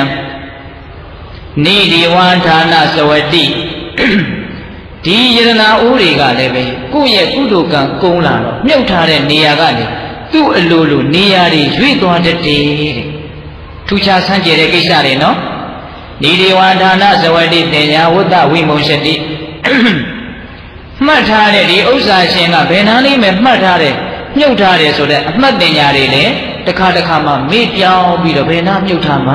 မသိဘူးဆိုတာလေဖြစ်တတ်တယ်တဲ့ကုသိုလ်ကအရှင်ကုန်းလိုက်ရင်အဲ့လိုမျိုးကြမ်းကြမ်းဖန်ဖန်နော်ဒီဒီဝါဌာနဇဝတိတင်ညာဝတ္တဝိမုံရှတိနာဂဝါပနာမေနိယဂဝါပိဟရန္တိနံနဂါးတွေကလည်းဒီရွှေအိုးကိုနေရာရွှေ့ပြစ်တတ်တယ်တဲ့သူတို့နေရာနဲ့မလွတ်တာတို့ဘာတို့ညာတို့ပေါ့လေယက္ခဝါပိဟရန္တိနံ မြေဘုဘလူးတွေဟိုမင်းဝန်းစတော်ဘုရားကြီးကတော့ဥစ္စာဆောင်လို့ပြောတယ်နော်အဲ့ဒီလိုယက္ခဘလူးတွေကလည်းပဲဒီဥစ္စာပစ္စည်းတွေကိုယူသွားတတ်တယ်တဲ့ဒါကတော့ဆန်းချေတဲ့ကိစ္စတွေကိုပြောတာတကယ်အဖြစ်များတဲ့ကိစ္စကိုမြတ်စွာဘုရားဆက်ပြီးတော့ပြောတယ်အပိယဝါပိဒါယတာဥဒ္ဒရန္တိအပတ္တတောယတာပုံညက်ကယောဟောတိသဗ္ဗမေတဝိနတတိအပိယဝါပိမချင်မနစ်သက်မှုမချင်မနှက်အတ္တမှုတိတိဖြစ်သော ဒါယတာအမွေကံဇုတို့သည်အပတ္တတောမိမိမမြင်ခင်မှာဥဒ္ဒရန္တိထုတ်ဆောင်ယူငင်၍သွားတတ်ကုန်၏ကိုကိုမုံတဲ့အမွေကံတွေကကိုမသိအောင်ကိုမြုပ်ထားတဲ့နေရာကနေတူးဖော်ပြီးတော့ယူသွားတတ်တယ်အကျဉ်းချုပ်လိုက်ရင်တော့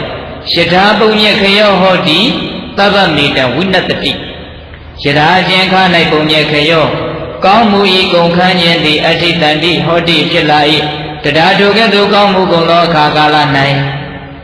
သဗ္ဗမေတံဧတံတဗ္ဗထိုအလုံးစုံသောစီစဉ်ဥစ္စာတို့သည်ဝိနတတိပျက်စီးတဲ့ကုန်၏ကောင်းမှုအရှိန်ကြီးကုန်သွားရင်ပစ္စည်းဥစ္စာတွေဟာပျက်စီးသွားတာတမျိုးမျိုးသောအကြောင်းကြောင့်ပျက်စီးသွားတာဟုတ်လားတချို့တော့ပြည့်စည်သွားတယ်နော်မူရင်းအကြောင်းကိုမြင်ဖို့အရေးကြီး ကောင်းတာတွေကောင်းမှုတွေကုန်သွားရင်ကောင်းတာတွေကုန်သွားတာသဘာဝပဲပေါ့လားဒါကြောင့်ကောင်းမှုအရှိန်ကုန်မသွားအောင်ကောင်းမှုကိုအမြဲတမ်းဆက်ဆက်ပေးရမယ်နော်တခါကြီးဒီမကြီးမြတ်အတိတ်ကာလကပြုခဲ့တဲ့ကောင်းမှုတွေကတော့ရှိတာပဲလေ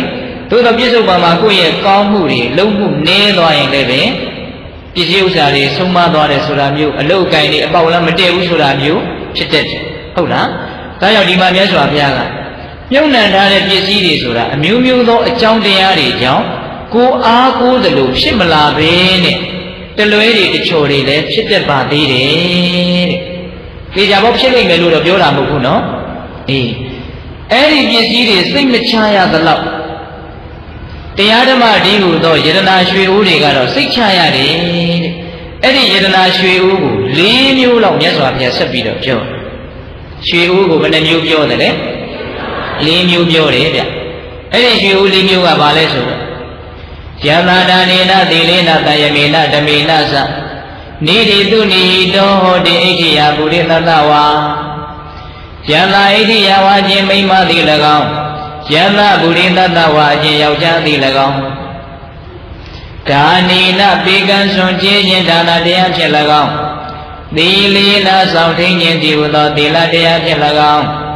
တန်ယမီနာကိုနှုတ်နှလုံးကိုဆောင်သုံးခြင်းဆိုတဲ့သမာဓိတရားဖြင့်၎င်းဓမေနသအိန္ဒြေကိုယဉ်ကျေးအောင်ဆုံးမခြင်းရဲ့အကြောင်းဖြစ်သောပညာတရားဖြင့်၎င်းနိဒေကောင်းမှုဒီဟုသောယတနာရွှေကိုကိုသူနိဟိတောကောင်းစွာမြုပ်နှံ၍ထားပြီဉာဏ်ရှိတဲ့အမျိုးကောင်းသမီးဉာဏ်ရှိတဲ့အမျိုးကောင်းသားအမျိုးမြင်ရှိတဲ့အဲ့ဒီအမျိုးကောင်းသားအမျိုးကောင်းသမီးဟာတဲ့ စေတနာရွှေဦး၄မျိုးကိုမြုပ်နှံထားတယ်နံပါတ်1ပေကံဆွန့်ကျဲလူဒန်းခြင်းဆိုတဲ့ဒါနရွှေဦးဟုတ်လားနံပါတ်2စောင့်ထင်းခြင်းဆိုတဲ့သီလရွှေဦး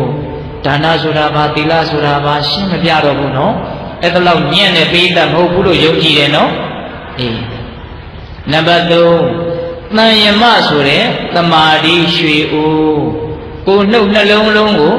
သုံးပါလုံးကိုရောနှုတ်ရောစိတ်ရောကိုသူကအပြစ်ကင်းအောင်စောင့်ထိန်တာကိုတမာတိနော်တမာတိဆိုတဲ့ရွှေအိုးနောက်နံပါတ်၄ဓမ္မဓာတွေမဓမ္မနော်အဲ့ဒီဓမ္မဆိုတာဘာလဲဆိုတော့မျက်စိနာနာလျာကိုယ်စိတ်ဆိုတဲ့ဒီအိန္ဒြေ6ပါးကိုယဉ်ကျေးလိမ္မာအောင်ဆုံးမနိုင်ရင်ရဲ့အကြောင်းတရားပညာဒါနရဲ့သီလရဲ့ သမာဓိရဲ့ပညာယရနာရွှေဦးဘယ်နှလုံးလဲလေးလုံးအဲ့ဒီယရနာရွှေဦးကိုမိမိရဲ့ကောင်းကျိုးရှိပွားကိုအမှန်တိုင်းမြင်ရတဲ့အမျိုးကောင်းသားအမျိုးကောင်းသမီးတွေဟာမိမိရဲ့အတွင်းသဏ္ဍာန်မှာပဲမြုပ်နှံပြီးတော့ထားတယ်။ဘာတွေကိုအကြောင်းပြုပြီးတော့မြုပ်တယ်လေမြုပ်နှံရဌာနတွေကိုလည်းမြတ်စွာဘုရားညွှန်ပြတယ်။ဦးဇင်းအသေးစိတ်အကုန်ပြောမှာနော်။အသေးစိတ်အကုန်ပြောမှာနော်စိတ်ရှိလက်ရှိနားထောင်ရမယ်ဟုတ်လားဘ လောက်ပဲပြောပြောတဏှာကြီးခွဲဖို့ဘက်တော့မပူဘူးအဲ့ဒါလည်းပဲပူးမနေနဲ့ဟုတ်လားခေကကြီးတို့မိုက်မြအေးအဲ့ဒီမှာမြတ်စွာဘုရားကဗာဆက်ညွန်ပြတော့ဆိုတော့စီတိယံပိသတံကေဝပုဂ္ဂလေအတိတိတုဝမဟာတရိပိတရိဇာပိယထောစိတံပိဘာတရိဒီယရနာရွှေဦးတွေကိုဘယ်နာမြုပ်ရမှာလဲဆိုတော့တဲ့စေတိယံပိသဓာတုဇီတိဓမ္မဇီတိဩရိတဇီတိပရိဘောဂဇီတိလို့ဆိုတဲ့ဇီတိ၄ပါးဒါဒီလူတွေသိတယ်နော် အဲ့ဒီဇီတိမှာတူတမ်းမင်းအဲ့ဒီဇီတိနာသွားပြီးတော့သီလတဲ့ဆောက်တည်မေကုသိုလ်ကောင်းမှုတွေပြုမယ်ဆိုရင်ဒါဇီတိမှာရွှေအိုးကိုမြုပ်တယ်လို့ဆိုရနောက်တန်ကြီးတဲ့တန်ခါအယူသီလတူမျှတဲ့တန်ခါတန်ခါဆိုတာအပေါင်းအစုနော်တန်ခါဆိုတာဘာလဲအပေါင်းအစုအယူသီလတူမျှတဲ့ဖရာရဲ့အယူဖရာရဲ့အကျင့်နဲ့တူမြအောင်ကျင့်တဲ့တန်ခါအစုအဝေးပုဂ္ဂလေဆိုတာပုဂ္ဂိုလ်ပုဂ္ဂလိကပေါ့နော် စေတယံပိဇတံကေဝပုဂ္ဂလေအတိတိတုဝါအတိတိတုဆိုတာမိမိတန်တန်မှာအခါအားလျော်ဆိုတာမကင်းနိုင်လို့ရောက်လာတဲ့ဧည့်သည်ဧည့်သည်ကိုကျွေးမွေးတယ်ဆိုလို့ရှိရင်ရွှေအိုးမြုပ်နိုင်ရရောက်တယ်ဒါကြောင့်ရှိလူကြီးတွေကဟေးကုံပြီးတော့အာဟုတုမဖြစ်စေနဲ့ဆိုတာအဲ့ဒါပြောတာအိမ်ကိုဧည့်သည်ကရောက်လာပြီးအချိန်လေးရကျွေးရတော့မယ်အခါရတော့မယ်စိတ်ကသိမကြည်ဘူးမကျွေးလို့လည်းမဖြစ်ဘူးဟန်ရသေးလားဟန်မရဘူးနော်ဒါကြောင့်ကုံပြီးတော့ကုသိုလ်ရအောင် ဧည့်သည်ရဲ့ထံမှာလည်းပဲကောင်းမှုလုပ်လို့မရဘူးလားရတယ် စီတယံပိစတံေဝပုဂ္ဂလေတိจิตุဝမာတရိပိတရိဇာပိအထောစိတံပိပါတရိမာတရိပိတရိမိခင်ဖခင်ကျေးဇူးရှင်တွေဟာမိမိအတွက်ကုသိုလ်ကောင်းမှုလုပ်เสียအင်မတန်ကောင်းတဲ့နေရာဌာနကြီးပဲကိုယ့်အတွက်ကျေးဇူးအင်မတန်ကြီးတာကိုနော်မိခင်ဖခင်ကိုကျွေးမွေးမယ်ဆိုရင်ဒါနရွှေအိုမြုပ်ရမရောက်ဘူးလားရောက်တယ်နော်အေးမာတရိပိတရိဇာပိ အထောစိတံပိပါတရိအထောတုမရပါစိထံမိပါဒတိအကူကြီးအမာကြီးတို့ရဲ့ထံမှာဟောမိမိမှာအကူကြီးတွေအမာကြီးတွေရှိနေရင်အဲ့ဒါရွှေအိုးမြုပ်เสียနေရအကူကြီးတွေအမာကြီးတွေရဲ့ကျေစုနဲမှတ်လို့ဗျငယ်ငယ်တုန်းကအင်မတန်ချစ်ခဲ့တာနော်သူတို့ပခုံးပေါ်မှာတင်ထားတာနော်အမြဲတမ်းသူတို့စားမဟာမစားဘဲနဲ့ကြွေးခဲ့တာနော်သူတို့မေတ္တာတွေကိုကိုယ့်ပေါ်မှာအများကြီးပုံပြီးတော့ပေးခဲ့တာနော်ဘယ်သူတွေတော့ကိုကြီးတွေအမကြီးတွေ ကိုကသူတို့ပေါ်မှာရှိတဲ့ကျေးဇူးကနည်းနည်းလေးသူတို့ကကိုယ့်ပေါ်မှာရှိတဲ့ကျေးဇူးကအများကြီးကဲကိုကသူတို့ကိုချီခဲ့ပူးခဲ့ဘူးသလားချီးတဲ့သေးတွေတုတ်တင်ခဲ့ဘူးသလားအခုကြီးတဲ့မာကြီးတွေကကိုယ့်ကိုလုံးမပေးခဲ့ဘူးလားလုံးပေးခဲ့တယ်ဒါကြောင့်မိခင်ဖခင်ကျေးဇူးရှင်ပြီးတော့အခုကြီးအမကြီးဆိုတဲ့ရွှေအိုးမြုပ်နှံရဌာနကိုမြတ်စွာဘုရားကညွန်ပြအင်မတန်အသေးစိတ်တိကျတယ်နော်မြတ်စွာဘုရားရဲ့တရားတော်ပါဟုတ်လား အေးအဲ့ဒီလိုအရာဌာနတွေမှာရွှေအိုးကိုမြုပ်ရမယ်တဲ့စီတယံပိသတံကေဝပုဂ္ဂလေတိတိတုဝါမာတရိပိတရိဇာမိထောစိတံပိပါတရိရွှေအိုးမြုပ်ရမယ်နေရာလည်းသိသွားပြီနော်ရွှေအိုးအမျိုးအစားတွေကိုလည်းသိသွားပြီနော်ဒါနာရဲ့သီလရဲ့သမာဓိရဲ့ပညာရဲ့ဟုတ်လားအဲ့ဒီလိုမြုပ်နှံဖို့မြတ်စွာဘုရားကခိုင်းပြီးတော့မြတ်စွာဘုရားကသူ့ရဲ့ယတနာရွှေအိုးတွေသူညွှန်ကြားတဲ့ဒီရွှေအိုးတွေဟာ ဘလောက်တောင်ကောင်းသလဲဘလောက်တောင်အာမခံချက်ရှိသလဲဘလောက်တောင်အကြီးအသွင်းမြင့်သလဲဆိုတာကိုဆက်ပြီးတော့ပြောပြတယ်။ဘုရင်တို့တရားဓမ္မတို့ကိုရွှေဦးတွေမြုပ်နှံခြင်းစိတ်ထက်သန်လာအောင်တဲ့ဒီစေတနာနဲ့ပြောပြတာနော်။အဲ့ဒီမှာဒီရွှေဦးလေးလုံးဟာဘလောက်ထိကောင်းတယ်လဲဆိုလို့ရှိရင်တဲ့။ဘာဆက်ပြောလို့ဆိုတော့ဧတန်ဤသူနိဟိတောအစီယောအနုဂာမိကော ပဟာယကမနိယေသူဣဒံအာရာယကိစ္စတိဧတာဧသောနိတိထိုယရနာရွှေဥတို့သည်သူနိဟိတောကောင်းစွာမြုပ်နေထာသောဧတာဧသောနိတိထိုယရနာရွှေဥတို့သည်အစီယောဘေလူယံသူကမှမအောင်အပ်ပါပြီဘဇူကမှဒီယရနာရွှေဥပိုင်ရှင်ကိုအနိုင်ယူလို့မရဒါနာကောင်းမှုတွေပြုထားလို့စီးပွားတွေချမ်းသာနေတယ်ဘဇူကမှဒီစီးပွားတွေပြတ်သွားအောင်အနိုင်အထက်အ နိုင်ယူလို့မရဘူးဟုတ်လားတိလာတွေစောင့်တည်ထားတဲ့တမာရီတွေပွားများထားတဲ့ပညာတွေကြိုးစားထားတယ်ဒီကုသိုလ်ကောင်းမှုတွေကိုဘယ်သူကမှအနိုင်ယူလို့မရဘူးခုဒကာမတို့ဦးဇင်းတို့ရဲ့ဘဝမှာအနိုင်ခံနေရတာတွေအများကြီးရှိတယ်နော်ဒါဘာကြောင့်အနိုင်ခံရတာလဲဆိုတော့အနိုင်ယူလို့မရတဲ့ကုသိုလ်ကောင်းမှုတွေမိမိတန်တမှာနဲနေသေးလို့လို့အဲ့ဒါလို့သဘောပေါက်ရမယ်ဟုတ်လား ကုသိုလ်ကောင်းမှုရွှေဦးတွေကတော့ဒီမှာပြောထားတယ်အစီယောဘဇူမမအောင်အပ်သောဘဇူမအနိုင်ကျင့်၍မရသောတရားလို့ဒီလိုပြောထားတာဘုရားဟောတာမှားပါမလားအေးဘုရားဟောတာမမှားပါဘူးအစီယောဘဇူမအနိုင်ကျင့်လို့မရဘူးဘဇူမအောင်မြင်ခြင်းကမစွမ်းနိုင်အဲ့ဒါတော့ကောင်းတယ်တဲ့အနုဂါမိကောတဲ့မိမိရဲ့နောက်ကိုအစဉ်အမြဲတမ်းလိုက်နေတယ်တဲ့ဒီယတနာရွှေဦးတွေ တရားဓမ္မတို့ဦးဇင်းတို့ရဲ့နောက်မှာအခုအမြဲတမ်းလိုက်နေတာဘာရှိအရေးဆိုတာရှိတယ်နော်ဘာရှိလဲအရေးကိုဘယ်နာလေးပြစ်ထားခဲ့ခြင်းပါလဲဆိုလို့ပြစ်ထားလို့ရသလားမရဘူးအရေးကအမြဲတမ်းရှိနေတယ်လေအဲ့တော့မြတ်စွာဘုရားကအဲ့ဒီအရေးကမှာအမြဲတမ်းလိုက်နေယတနာရွှေဦးဆိုတာဟုတ်လားဒီဒေသနာတော်လေးကိုလည်းပဲဦးဇင်းတို့ဓမ္မပဒပါဠိတော်မှာလေမနတာစီပတန်နေနာပါတိဝါကရောတိဝါ တတောနဒုက္ခမနုတိဆာယဝအနုပါယိနိဓမ္မဘဝတ္တကြီးရတဲ့ပုဂ္ဂိုလ်တွေတချို့ရကျင်ရမယ်နော်ကောင်းတဲ့စိတ်နဲ့ပြောထားတဲ့ပြုထားတဲ့အလုပ်တွေဟာတဲ့အရေးဟာမိမိရဲ့နောက်ကိုအမြဲတမ်းလိုက်တယ်လို့မျိုးချမ်းသာဒုက္ခဟာအမြဲတမ်းလိုက်နေလိမ့်မယ်လို့ပြောထားခုဒီဒါနသီလသမာဓိပညာဆိုတဲ့ဒီရွှေဦးလေးလုံးဟာလည်းပဲအနုဂါမိကိုမိမိရဲ့နောက်ကိုအမြဲတမ်းလိုက်နေတယ်တနည်းသစ္စာအင်မတန်ရှိတယ် မိတ္တရေပါတယ်တော့သစ္စာသစ္စာအင်မတန်ရှိတယ်ကျန်တာတွေကကိုယ့်ကိုမကြိုက်လို့ရှိရင်သူတို့နဲ့ကိုယ်နဲ့လမ်းခွဲသွားတယ်ဆိုတာရှိတယ်လေဒီယတနာရွှေဦးတွေကကိုယ့်ကိုဘယ်တော့မှလမ်းခွဲသွားမှာမဟုတ်အမြဲတမ်းကိုယ့်ကိုစောင့်ရှောက်ဖို့ကိုယ့်ရဲ့နောက်မှာအမြဲတမ်းရှိနေတယ်အဲ့ဒါတွေကိုအာတင်းဖို့အတွက်ကုသိုလ်ကောင်းမှုတွေကိုအများကြီးယုံကြည်မှုရှိဖို့မလိုဘူးလားလိုတယ်အာဇီယောအနုဂါမိကောနှစ်ချက်ရှိသွားပြီနော် ဧတာနိရိတုနိတောအာဇီယောအနုဂါမိကောပဟာယကမဏီယေတုဧတံအာရာယကိစ္စတိပဟာယပေစွ၍ကမဏီယေတုသွားကြရသည်ရှိသောဧတံထိုယတနာရွှေဥတို့ကိုအာရာယယုံငင်၍ကိစ္စတိသွားနိုင်ပေ၏စွန့်ပြီးတော့သွားရမယ့်အခါကာလဆိုတာတနေ့နေ့မှရောက်လာလိမ့်မယ်နော်ပစ္စည်းတွေကကိုယ့်ကိုစွန့်သွားတာလည်းရှိ ကိုကပစ္စည်းတွေကိုစွန့်သွားတာလည်းရှိစွန့်ခြင်းကနှမျိုးနော်ဒီမိတ်ဆွေပေါင်းတဲ့တွေကကိုယ့်ကိုစွန့်သွားတာလည်းရှိတယ်ကိုကမိတ်ဆွေပေါင်းတဲ့တွေကိုစွန့်သွားတာလည်းရှိတယ်သိကြတာကတော့ဒီနှစ်ခုကွဲသွားတာဟာသိကြတယ်ဒါကြောင့်ဘေးအရာကိုမှစုပ်ကင်ထားခြင်းလို့မရဘူးအာကိုးခြင်းလို့မရအာကိုးလို့လည်းမရဟုတ်လားအာကိုးခြင်းတပတ်ဆိုရင်ကိုကိုယ်တိုင်ကြိုးစားထားတဲ့ဒီဒါနသီလသမာဓိပညာဆိုတဲ့ရွှေအိုးဒီဒါနဲ့အာကိုးလို့ရ သူ့ကိုယ်သာနဲ့ကိုယ်နဲ့မကွဲမကွာအမြဲတမ်းယူသွားလို့ရကျန်တာတွေကအစွန့်ရင်လည်းခံရမယ်စွန့်ရင်လည်းသွားလိမ့်မယ်ဒီအိဗယ်နော်တခါကြီးမိုက်ပြအဲ့ဒီလိုစွန့်သွားတဲ့အခါကာလမျိုးမှာကိုယ့်ရဲ့နောက်ကိုအမြဲတမ်းတကောက်ကောက်လိုက်နေတာကဒီယတနာရွှေအိုးပဲရှိတယ်သုံးချက်ရှိသွားပြီနော်ဂုံကြီးတွေထုတ်ပြနေတာဟုတ်လားနောက်ပြီးမြတ်စွာဘုရားဗာဆက်ပြောလို့ဆိုတော့အာသာရဏမေညိတံအာသောရာဟရဏောနိတိ ကယိရာထတိရောပုံညာနိယောနိရိအနုဂါမိကောအတ္တရာရဏမင်းကြီးတန်ဒါလေးကိုဦးဇင်းကသိသဘောကျအင်းကြီးတန်သူတစ်ပါးတို့နဲ့အတ္တရဏမဆက်ဆက်သောဂုံကြီးရှိတယ်တဲ့စေတနာရွှေဦးဆိုတာဘယ်သူလည်းမဆိုင်ဘူးလို့ဆိုလိုတာနော်တခါကြီးမိုင်မြကိုလောက်ထိုင်ရင်ကိုတူးတဲ့ပဲဆိုင်တယ်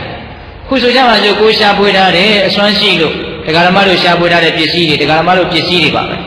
ဒါပေမဲ့အဲ့ဒီပစ္စည်းတွေကိုငါတယောက်တည်းရှာထားလို့ငါတယောက်တည်းပဲဆိုင်တယ်လို့ပြောရဲလားခုခုမှရှိတဲ့ပစ္စည်းတွေကိုအကုန်လုံးရောင်းချမယ်လုပ်ကြည့်ပါလားကန့်ကွက်မဲ့လူတွေဘယ်နှယောက်လောက်ရှိဘယ်သူတွေကအရင်ကန့်ကွက်မဲ့ခြင်းသားတွေသမီးတွေကကန့်ကွက်မှာပေါ့ဟုတ်လားဟင်မောင်လေးနှမတွေကကန့်ကွက်မှာပေါ့ကိုရောင်းကျင်နဲ့ရောင်းလို့ရတာဘယ်သူတွေနဲ့ဆက်ဆက်နေလဲအများနဲ့ဆက်ဆက်နေတယ်ဒါကိုရှားထားတာနော် အခုဒီမှာရှားထားတဲ့ဒီပစ္စည်းရဲ့အည်အသွေးကြတော့အဲ့ဒါလို့မဟုတ်ဘူးပိုင်စိုးပိုင်နေကိုတယောက်တည်းပဲပိုင်ကိုယ့်ကိုယ်သွန်ရင်သွန်မောက်ချင်းမောက်မကောင်းဘူးလားကောင်းတယ်နော်တခါကြီးမိုက်မြအာတာရဏမင်းကြီးတန်ဘယ်သူနဲ့မှမဆက်ဆက်ဘူးကိုပိုင်နေဆိုတာဟာဒီကုသိုလ်ကောင်းမှုတစ်ခုကလွဲလို့ဘယ်အရာမှမရှိတဲ့အည်အသွေးတစ်ခုပဲဒါသရုဒ္ဓမြောက်အည်အသွေးဒါလေးကိုခေါင်းနဲ့ဆွဲသိခြင်းတယ်ဗျာဥစဉ်ကတော့ဟုတ်လား ဘယ်သူနဲ့မှမဆိုင်ဘူးဘယ်သူနဲ့မှမဆိုင်ဘူးဒါမှငါပိုင်အစင်ကျန်တာတွေကတော့ငါပိုင်တယ်လို့ထင်နေတယ်ပဲအဲ့ဒါမှားယွင်းမှုပဲလို့နားလည်ရပုရုဇဉ်ဆိုတော့မှားတော့မှားသေးတာပေါ့နော်တခါတခါကိုယ့်အကိုပိုင်တယ်လို့ထင်ရုံနဲ့အားမရလို့ဒီပိုင်ဆိုင်ခြင်းကိုပဲကိုယ့်ဟာလို့အောက်မိတ်ပြီးတော့မောက်မာမိတာတွေဘာတွေကမရှိဘူးလား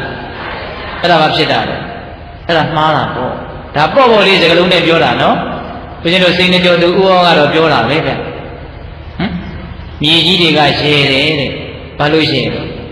လူတွေကတဲ့အရင်သိမဲ့လူတွေကဒါငါမြေငါမြေနဲ့ပြောကြတာတဲ့သူတို့ကအရင်ကြောက်သွားမှာငါတို့အရင်ကြောက်မဲ့လူတွေကမြန်ငါတို့ကိုသူတို့မြေသူတို့မြေနဲ့ပြောတယ်ဆိုမြေကြီးတွေကရှည်တယ်ပထမရေတာလေးကတော့ပြောမကောင်းလို့မပြောတော့ဘူးစာအုပ်ထဲကိုယ့်ကိုယ်သာရှာကြည့်တော့ဟုတ်လားတတိယမြောက်ရေတာကတော့ရွှေငွေကရေတယ်တဲ့ရွှေငွေကဘယ်လိုရေတာလဲ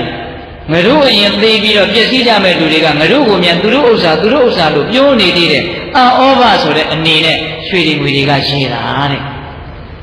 နော်အဲ့တော့ဒကာမတို့ဦးဇင်းတို့တွေကကိုဟာကိုဟာလို့ထင်းနေတော့မှားရင်မှုတွေကရေစရာအနေထိတောင်ဘာဖြစ်သွားလဲရောက်သွားတယ်ရောက်သွားတယ်ဒါကြောင့်ကိုဟာကိုဟာလို့ပြောခြင်းတယ်ဆိုလို့ရှိရင်ကုသိုလ်ကလွဲလို့ဘယ်ဟာမှကိုဟာမရှိဘူးကောင်းတာတွေထဲမှာလေအကုသိုလ်ပြုထားရင်လည်းအကုသိုလ်လည်းကိုဟာပဲနော် အဲ့ဒါလည်းဘယ်လန်းလန်းကြောင်းမှသွားပြစ်ထားလို့မရဘူးဟမ်ဒကမကြီးတွေမရဘူးနော်သူ့လည်းမရဘူးနော်အေးထားတော့အတာရဏမင်းကြီးတအာသောရာဟရနောနိတိအသောရာဟရနောနိတိတခိုးတွေလူဆိုးတွေကလူယူလို့မရတဲ့မသိအောင်ယူသွားလို့မရတဲ့အည်အသွေးဒီယရနာပစ္စည်းမှာရှိကျန်တဲ့ပစ္စည်းတွေကစိတ်မချလို့အမျိုးမျိုး လုံကြုံပြီးလုံကြုံတစ်ထက်လုံကြုံနေလို့ထင်တဲ့နေရာမှာထားရတယ်မဟုတ်လားတက်နိုင်ရင်တက်နိုင်တဲ့လောက်လုံလုံချုံချုံထားရတယ်မဟုတ်လားဘာလို့လုံကြုံလုံကြုံထားရတာလဲစိတ်မချလို့စိတ်မချလို့စိတ်ချရအောင်ဆိုပြီးတော့လုံတဲ့နေရာမှာထားနေပြီမလို့စိတ်ကတော့တကယ်ချသလားဘယ်ချိန်ချလဲဘယ်ချိန်မှမချမိခင်တက်တာတဲ့ထားလဲမချဘာဖြစ်လို့လဲဆိုတော့တကယ်မှမလုံချုံမဲ့ဘူးအဲ့ဒီမိခင်တက်တာကလည်းဖွင့်လို့ရသေးတာပဲလေ အဲ့တော့စိတ်ကအမှန်တိုင်းသိနေတယ်လို့ပဲနော်စိတ်ချလို့မရဘူးဆိုတာကိုစိတ်ကအမှန်တိုင်းသိနေတယ်လို့ပဲနော်ဒါကြောင့်သူဘယ်တော့မှစိတ်မချအဲ့တော့စိတ်ချရတဲ့အနေထားမှာရနေတဲ့ယရနာသည်ဘယ်ယရနာလဲလို့မေးရင်ကုသိုလ်ပဲရှိဟုတ်လားဒါမြတ်စွာဘုရားထုတ်ပြတဲ့ကုသိုလ်ရဲ့အည်အသွေးတွေနော်ဘယ်နှခုရှိသွားပြီတော့မှတ်မိသေးလား၅ခုရှိသွားတယ်အာဇီယောဇုကမအနိုင်ကျင့်လို့မရနော်အနုဂါမိကော အမြဲလိုက်တယ်ဘာယကမဏီယေလို့စွန့်သွားလို့ရှိရင်ကိုယ့်နောက်ကလိုက်မယ်ဟုတ်လားပြီးတော့ဗာလဲဘဇူနဲ့မှမဆက်ဆံဘူးကိုယ်တကယ်ပိုင်နေဘယ်လိုလူကမှမသိအောင်ယူသွားလို့မရဘူးအဲ့ဒီလောက်အည်အသွေးမျိုးနဲ့ပြည့်စုံတဲ့အဲ့ဒါလောက်ကောင်းတဲ့ဒါနသီလသမာဓိပညာဆိုတဲ့ယန္နာရွှေအိုးကိုမိမိတို့ဟာအမျှော်မြင်ကြီးစွာနဲ့အများကြီးရှာဖွေစုဆောင်းထားရမယ် အဲ့ဒီလိုရှာဖွေစုဆောင်းထားမယ်ဆိုလို့ရှိရင်အကျိုးတရားတွေအများကြီးရနိုင်တယ်တဲ့ဆက်ပြီးတော့မြတ်စွာဘုရားအများကြီးဟောထားတယ်အဲ့ဒါကိုဆက်ပြီးတော့နားရမယ်နော်တခါကြီးမိုင်မြတ်ဟိုကုသိုလ်ပြုဖို့အတွက်အင်မတန်အားဖြစ်စေတဲ့သုတ်တန်လို့ဦးဇင်းတို့ချက်အင်မတန်ကြိုက်ပါတယ်ဦးဇင်းတို့ဒီသုတ်တန်လေးကိုနိတိကန္နသုတ်တန်တဲ့ဟုတ်လားအဲ့ဒါမြတ်စွာဘုရားဘယ်လိုဆက်ပြီးတော့ပြောသလဲဆိုတော့ဧသာဒေဝမနုဿာနံသဗ္ဗကာမတတော်နိရိ ယံယရေဝပိပတေတိသဗ္ဗမေတေနလဗ္ဗတိဧသနိရိတိယရဏရွှေဥတို့သည်ဒေဝမနုဿာနံနလူတို့၏သဗ္ဗကာမတတော်အလုံးစုံသောအလိုဆန္ဒတွေကိုဖြည့်စွမ်းလို့ပေးနိုင်တယ်ဟောနတ်တွေလူတွေဖြစ်ချင်တာမှန်သမျှကိုဒီယရဏရွှေဦးကဖြစ်အောင်လုပ်ပေးနေတယ်လွန်လွန်းတယ်လို့မထင်နဲ့နော်ဒါဘယ်သူဟောထားတာလဲ ဘုရားဟောထားတာသိတော်မူမြင်တော်မူလို့ဟောထားတာကိုယ့်ရဲ့ဉာဏ်လေးတထွားတမိုက်လောက်နဲ့ဖြစ်ချင်တာတွေအကုန်လုံးကိုဒီကုသိုလ်တွေကဖြစ်အောင်လုပ်ပေးမယ်ဆိုတာဟုတ်နိုင်မမလားလို့ပုထုဇဉ်ပြည်ပြည်တန်တရားတွေမကြီးလိုက်နဲ့ဘယ်သူဟောထားတာလဲဘုရားဟောထားတာနော်ဧသာဒေဝမနုဿာနသဗ္ဗကာမတရောနိတိယံယရေဝပိပတေတိသဗ္ဗမေတေနလဗ္ဗတိထပ်ပြီးတော့တောင်ပြောလိုက်သေးယံ ယရေဝအကျဉ်အကျဉ်ချမ်းသာဒုက္ခကိုအဘိပတ္တင်တိစိတ်ထဲကလိုချင်တယ်လို့တောင်းတ၍နေကြကုန်၏သဗ္ဗလုံးစုံသောထိုတောင်းတချက်အလိုဆန္ဒတွေကိုဧတေနထိုယရနာရွှေအိုးကြောင့်လဘတိမုတ်ချပိုင်နိုင်ရနိုင်ပေ၏ဟောစိတ်ထဲကဘာလို့ရကျင်လိုက်တာဘာလို့ဖြစ်ချင်လိုက်တာလို့တောင်းတတာတွေလူတိုင်းမှာရှိမနေဘူးလား အဲ့ဒီတောင်းတချက်တွေကိုပြည့်စုံအောင်ဖြည့်ဆည်းပေးနိုင်ဟာကဒီယရနာရွှေအိုး၄မျိုးပဲရှိတယ်။သိချပေါက်ပေးနိုင်တယ်။ယုံကြည်ဖို့လိုတယ်။ယုံကြည်တယ်ဆိုတာလည်းပဲထိုက်တလောက်သိမှယုံတာဗျ။နော်။ထိုက်တလောက်သားကိုဉာဏ်နဲ့ငုံမိမှယုံကြည်တယ်ဆိုတာဖြစ်တာနော်ဒီကိဒီမိုက်မြ။အေးထားတော့ဒါမြတ်စွာဘုရားစပြီးတော့ပြောနေတာ။ဒီယရနာရွှေအိုးဒီနတ်တွေလူတွေဖြစ်ချင်တာတွေတောင်းတတာတွေအားလုံးကိုဖြည့်ဆည်းပေးမယ်လို့ ဏိဒန်းကိုအဲ့လိုအကြီးကြီးချီပြီးတော့မြတ်စွာဘုရားကပြောလိုက်တယ်နော်အဲ့ဒီမှာဆက်ပြီးတော့ဘာပြောတော့ဆိုတော့လူကျင်နာတွေကဘာတွေလဲလူကျင်နာတွေကိုရအောင်ပေးမယ်လို့ပြောတယ်နော်အဲ့တော့နတ်တွေလူတွေလူကျင်နာကဘာတွေလဲတဲ့ဒကမာကြီးတွေလူကျင်နာကဘာလဲတူတူလေးကိုကိုကိုပြန်မေးစိတ်ကူးလေးနဲ့မေးကြည့်ဘာတွေများလူကျင်နေလဲမြတ်စွာဘုရားသိတယ်ဗျာသိလားပြီးမှမပြုံးနဲ့နော်မြတ်စွာဘုရားတတ္တဝါတွေလူကျင်တာကိုသိတယ်အဲ့ဒါဘာဆက်ပြီးတော့ပြောတော့ဆိုတော့ သူဝန္နာတာသူတရတာသူတန်ဌာနသူရူပတာအာရိပိသပရိဝါရသဗ္ဗမေတေနလဗ္ဗတိသူဝန္နာတာမျက်နာအဆင့်တင့်တယ်ခြင်းကို၎င်းဟောမျက်နာပုံပန်းလေးကြကြနတ်နတ်လူတွေကကြည့်လို့ကောင်းတဲ့မျက်နာလေးပိုင်ရှင်ကိုလူတိုင်းရချင်တယ်တခါကြီးမိုင်နဲ့မရချင်ဘူးလားခုကြီးလာတော့နည်းနည်းလေးအိုးအိုးအိုးအိုးလာတော့ဘယ်လိုမှမတက်နိုင်လို့သာလက်လျှော့ရတယ်တက်နိုင်တဲ့လောက်လေးတော့ဆက်ပြီးတော့လုံနေသေးတာပဲ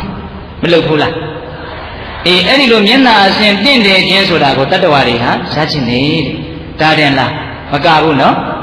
သူရူပတံသူဝဏတာသူတရတံအတန်ကောင်းခြင်းကို၎င်းအတန်လေးပါလို့ခြင်းတော့ကောင်းခြင်းတယ်နော်သူဝဏတာသူရူပတာအဲသူတရတာသူတန်ဌာနာသူဝဏတာပုံတရံဦးဇင်းတို့အချိုးအစ်စ်ပေါ့လေလူခန္ဓာကိုယ်တစ်ခုလုံးအချိုးအစ်စ်ပြည့်ပြည့်ချင်းဆိုတာကို သူတန်ဌာနာလို့ခေါ်အဲ့ဒါကောမရခြင်းဘူးလားရခြင်းဘူးပြီးတော့သူဝဏတာသူရူပတာဒီမျက်နှာတင့်တယ်ယုံနေမကဘူးအရင်အစင်းစူးစူးကြည်ကြည်ရှိတာကိုလည်းရှားချင်အင်မတန်တိတိကျကျပြောထားတယ်နော်မျက်နှာပေါက်ဒီပါဒီလှတာပတာကိုသွန်နာတာပေါ့နော်အေးအရင်အစင်းလှတာကိုသူလူပတာဟုတ်လားအတန်ကောင်းနေအဲ့ဒီလိုအစင်းတွေဟာဒကာကြီးဒီမိုင်များငွေနဲ့ပေးဝယ်လို့ရလား မရဘူးမွေးလေးကဆိုသူ့သူပါလာတာလေဘယ်သူကြောင့်ရနိုင်လဲကောင်းတဲ့ကံတွေကြောင့်ရနိုင်တယ်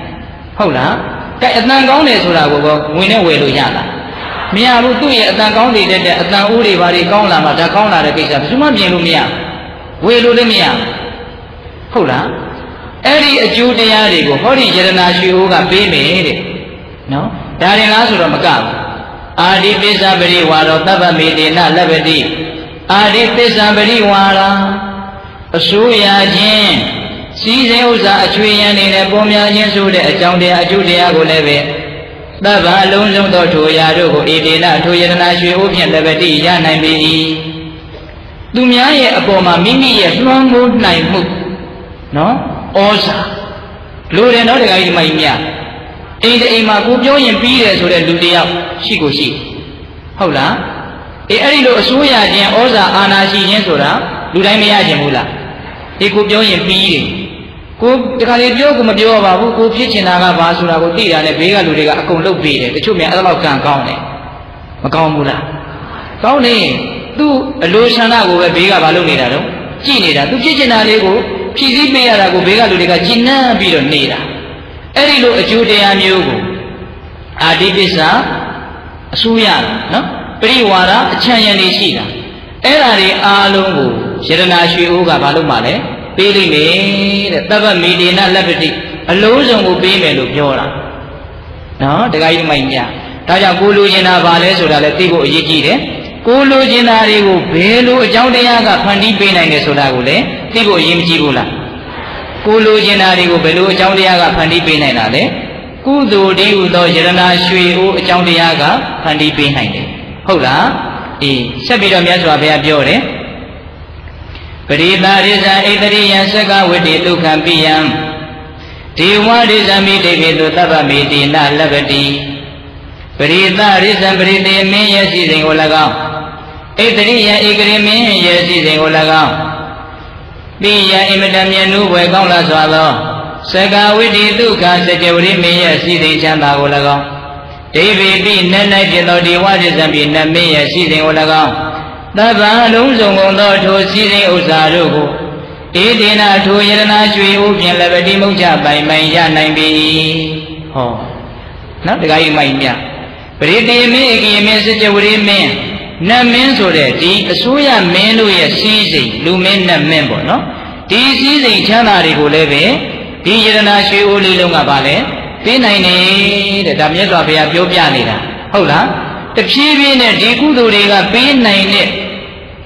ဟိုအကျိုးတရားတွေရဲ့အဆင့်တွေကိုမြင့်မြင့်မြင့်မြင့်ပြီးတော့ပြောလာလိမ့်မယ်နော်ပထမရုပ်ချောတယ်အတန်ကောင်းတယ်အဆိုးရတယ်အချမ်းရံများတယ်ဟုတ်လားအခုလူမင်းနတ်မင်းစည်းစိမ်အမျိုးမျိုးအခုတက်လာတယ်နော်ဒီယရနာရွှေဦးကပေးနိုင်တဲ့အကျိုးတရားတွေရဲ့အည်တွေကဘာဖြစ်လာလဲတက်တက်လာတယ်နော်အေးအဲ့ဒီမှာမြတ်စွာဘုရားထပ်ပြီးတော့ခြုံမိအောင်ထပ်ပြောပြန် မာနုတိကသတ္တပတ္တိဒေဝလောကိစရရတိရှားစနိဗ္ဗာနတပ္ပတိသဗ္ဗမေတိလလဗ္ဗတိဦးဇင်းကတော့ဒီကာထာလေးတွေရွတ်ရတာကိုတော်တော်ရတာရှိဟုတ်လားမာနုတိကသတပ္ပတိဒေဝလောကိစရရတိမာနုတိကသတပ္ပတိလူဘဝရဲ့ပြည့်စုံခြင်းချမ်းသာခြင်းဆိုတဲ့လူရှိစိန်ကို၎င်းဒေဝရိဇံပိယာရတိ နတ်တွေရဲ့ပြုံမှုကြီးရဲ့အကြောင်းဖြစ်တဲ့လက်စည်းစိန်ကို၎င်းရှားစနိဗ္ဗာန်တပ္ပတိနိဗ္ဗာန်ချမ်းသာရဲ့ပြည့်စုံခြင်းကို၎င်းသဗ္ဗအလုံးစုံကုန်သောလူချမ်းသာနတ်ချမ်းသာနိဗ္ဗာန်ချမ်းသာကိုချမ်းသာဘယ်နှမျိုးပြောလိုက်တော့၃မျိုးလူချမ်းသာနတ်ချမ်းသာနိဗ္ဗာန်ချမ်းသာတဖြည်းဖြည်းနဲ့တက်လာပြီနော်အဲ့ဒီလူဘဝရဲ့အထွတ်အထိပ်နတ်ဘဝရဲ့အထွတ်အထိပ် နောက်ဆုံးသဘာဝတရားအလုံးတို့ရဲ့အထွတ်အထိပ်ဖြစ်တဲ့နိဗ္ဗာန်ချမ်းသာနော်အဲ့ဒီချမ်းသာ၃မျိုးကိုလည်းပဲဒီယရနာရွှေအိုး၄မျိုးကြောင့်ရနိုင်တယ်တက်တက်လာပြီနော်တခါကြီးမိုင်မြအေးနောက်ဆုံးနိဗ္ဗာန်ချမ်းသာပါလာပြီနော်နိဗ္ဗာန်ရအောင်ဒါနကလည်းပြုနိုင်တယ်သီလကလည်းပြုနိုင်တယ်သမာဓိပညာတို့ကလည်းပြုနိုင်တယ်ဆိုတဲ့အသေးပဲပေါ့ဟုတ်လားအဲ့ဒီမှာဆက်ပြီးတော့မြတ်စွာဘုရားက ပြည့်စုံခြင်းတွေကိုအသေးစိတ်ထပ်ပြီးတော့ပြောပြဘယ်နဲ့ဆက်ပြီးတော့အမင်းရှိတုံးဆိုတော့မိတာသမ္ပဒမာကမယောနိသောဝိပယုံစတောဝိဇာဝိမု ക്തി ဝတိဘာဟောတပ္ပမိတေနလပ္ပတိလူဘဝကိုရတယ်နတ်ဘဝကိုရတယ်အဲ့ဒါလိုရလာတဲ့အခါမှာမိတ်ဆွေအပေါင်းအသင်းကောင်းကိုအကြောင်းပြုပြီးတော့ယောနိသောဝိပယုံစတောတဲ့ တင့်တယ်လျောက်ပမှန်ကန်တဲ့နီးနဲ့တရားဓမ္မကိုကြိုးစားအားထုတ်လိုက်တဲ့အခါမှာဝိဇာဝိမု ക്തി ဝတိဘာဟောဝိဇ္ဇာတရားဝိမု ക്തി တရားတွေကိုလိမ့်လာကျွမ်းကျင်တဲ့အဖြစ်ကိုလည်းပဲဒီယရနာရွှေအိုးကပေးမယ်တဲ့ဆိုလိုတာကမိတ်ဆွေအပေါင်းအသင်းကောင်းတွေကိုအမိပြုမှန်ကန်တဲ့နီလန်းနေနဲ့မှန်ကန်တဲ့ဝရိယတွေနဲ့ကြိုးစားအားထုတ်တဲ့အခါမှာဝိဇ္ဇာတရားဝိမု ക്തി တရားဆိုတဲ့မဲ့ညံပုံညံတရားတွေမရပြီဘူးလားရမယ် အဲ့ဒီမဲ့ညံပုံညံတွေကအလကားရတာလားမှန်မှန်ကန်ကန်ကြိုးစားလို့ရတာလားခွန်းဆက်ကလေးတွေမြင့်မပြည့်နဲ့နော်မှန်မှန်ကန်ကန်ကြိုးစားတယ်ဆိုတာယောနိသောဝေပယုံစတော့ဒါကိုပြောတာနော်အဲ့ဒီမှန်မှန်ကန်ကန်ကြိုးစားတာကလည်းပဲမိကောင်းဆွေကောင်းသူတော်ကောင်းတွေကပြောပြထားလို့ကြိုးစားတတ်တာမိမိရဲ့မွေးရပါအတိညာရမကြိုးစားတတ်သေးဘူးဟုတ်လားမဉ္ဇဉ်ဘုံဉဏ်တွေဟာမှန်မှန်ကန်ကန်ကြိုးစားလို့မှန်မှန်ကန်ကန်ကြိုးစားတယ်ဆိုတာ သူတော်ကောင်းတွေကိုပေါင်းသင်မိဝဲရလို့ကြိုးစားတတ်တယ်အဲ့ဒီသူတော်ကောင်းတွေကိုပေါင်းသိမိဝဲရတယ်ဆိုတာကလည်းပဲဘဝကောင်းကိုရလို့ဟုတ်လားဘဝကောင်းကိုရလို့အဲ့ဒီဘဝကောင်းတွေအကျိုးပေးကောင်းတွေကိုရအောင်ဘုသူကပေးတာတော့ဆိုတော့အရင်စစ်လိုက်တော့အမြင့်မြေကလို့ပြောရတယ်လို့ပဲဒါနတွေသီလတွေတမာတိတွေပညာတွေဆိုတဲ့ဒီယရနာရွှေဦးကပဲဘဝကောင်းကိုပို့လိုက်တယ် မိတ်ဆွေကောင်းနဲ့တွေ့အောင်ဖန်တီးလိုက်တယ်အဲ့ဒီမှာပဲအသိဉာဏ်တွေပွင့်ပြီးတော့ငါတော့လုံးတဲ့လုံးထိုက်တာလုံးမပဲဆိုပြီးတော့ဟောကောင်းတာတွေကိုကိုနားလေသဘောပေါက်တယ်လို့မလုပ်ကြဘူးလားတချို့ကဒါနကိုအများကြီးသဘောပေါက်တော့ဒါနတွေပြုတယ်တချို့ကသီလတွေစောင့်တည်တယ်တချို့တမာရီပြင်တာတချို့ကျတော့အစုံပြည့်စုံအောင်လုပ်တယ်အကောင်းဆုံးကတော့ပြည့်စုံအောင်လုပ်မှကောင်းတာနော်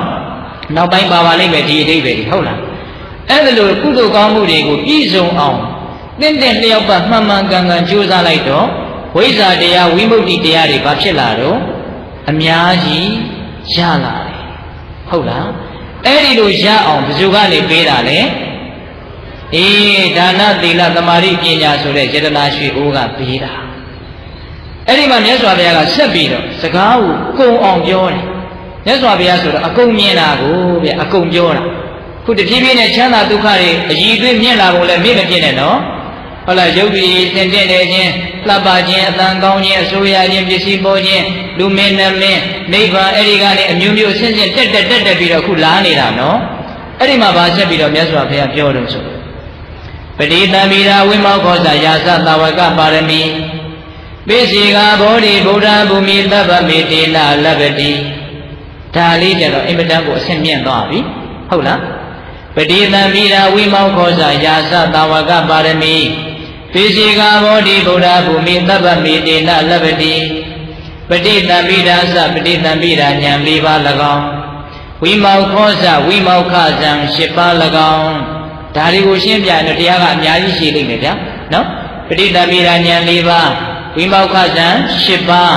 ဟုတ်လားအဲ့ဒီကနေတက်သွားလိုက်တယ်ယာသတာဝကပါရမီ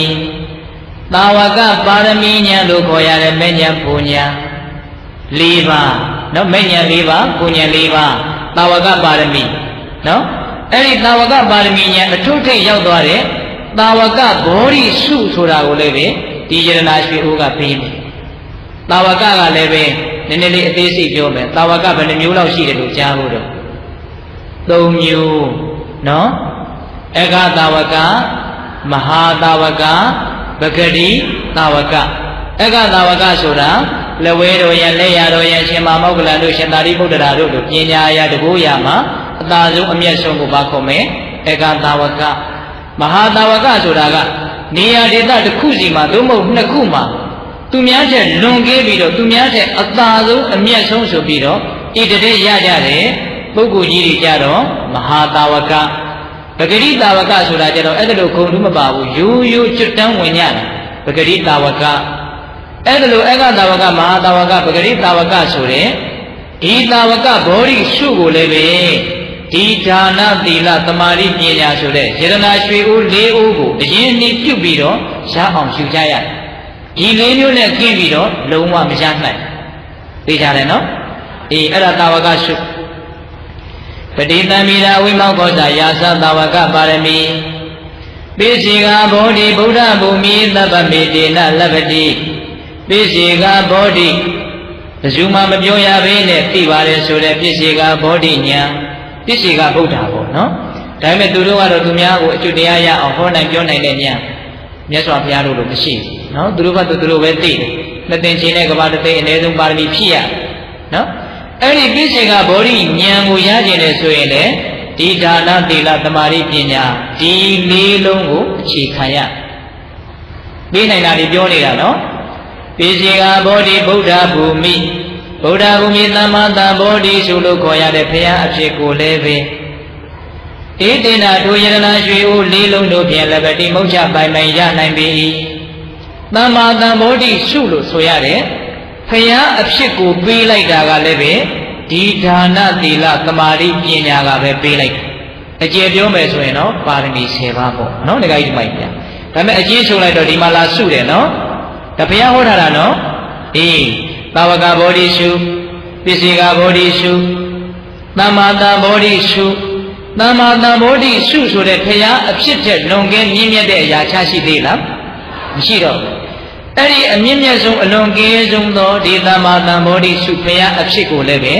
ဒီမြုပ်နှံထားတဲ့ယရနာရွှေအိုးလေးမျိုးကပေးနိုင်တယ်တဲ့ကဲသူထက်အားကိုးစရာကောင်းသောသူထက်အစွမ်းတတ္တိရှိသော တခြားဘာများရှိသေးလဲဘာမှမရှိတော့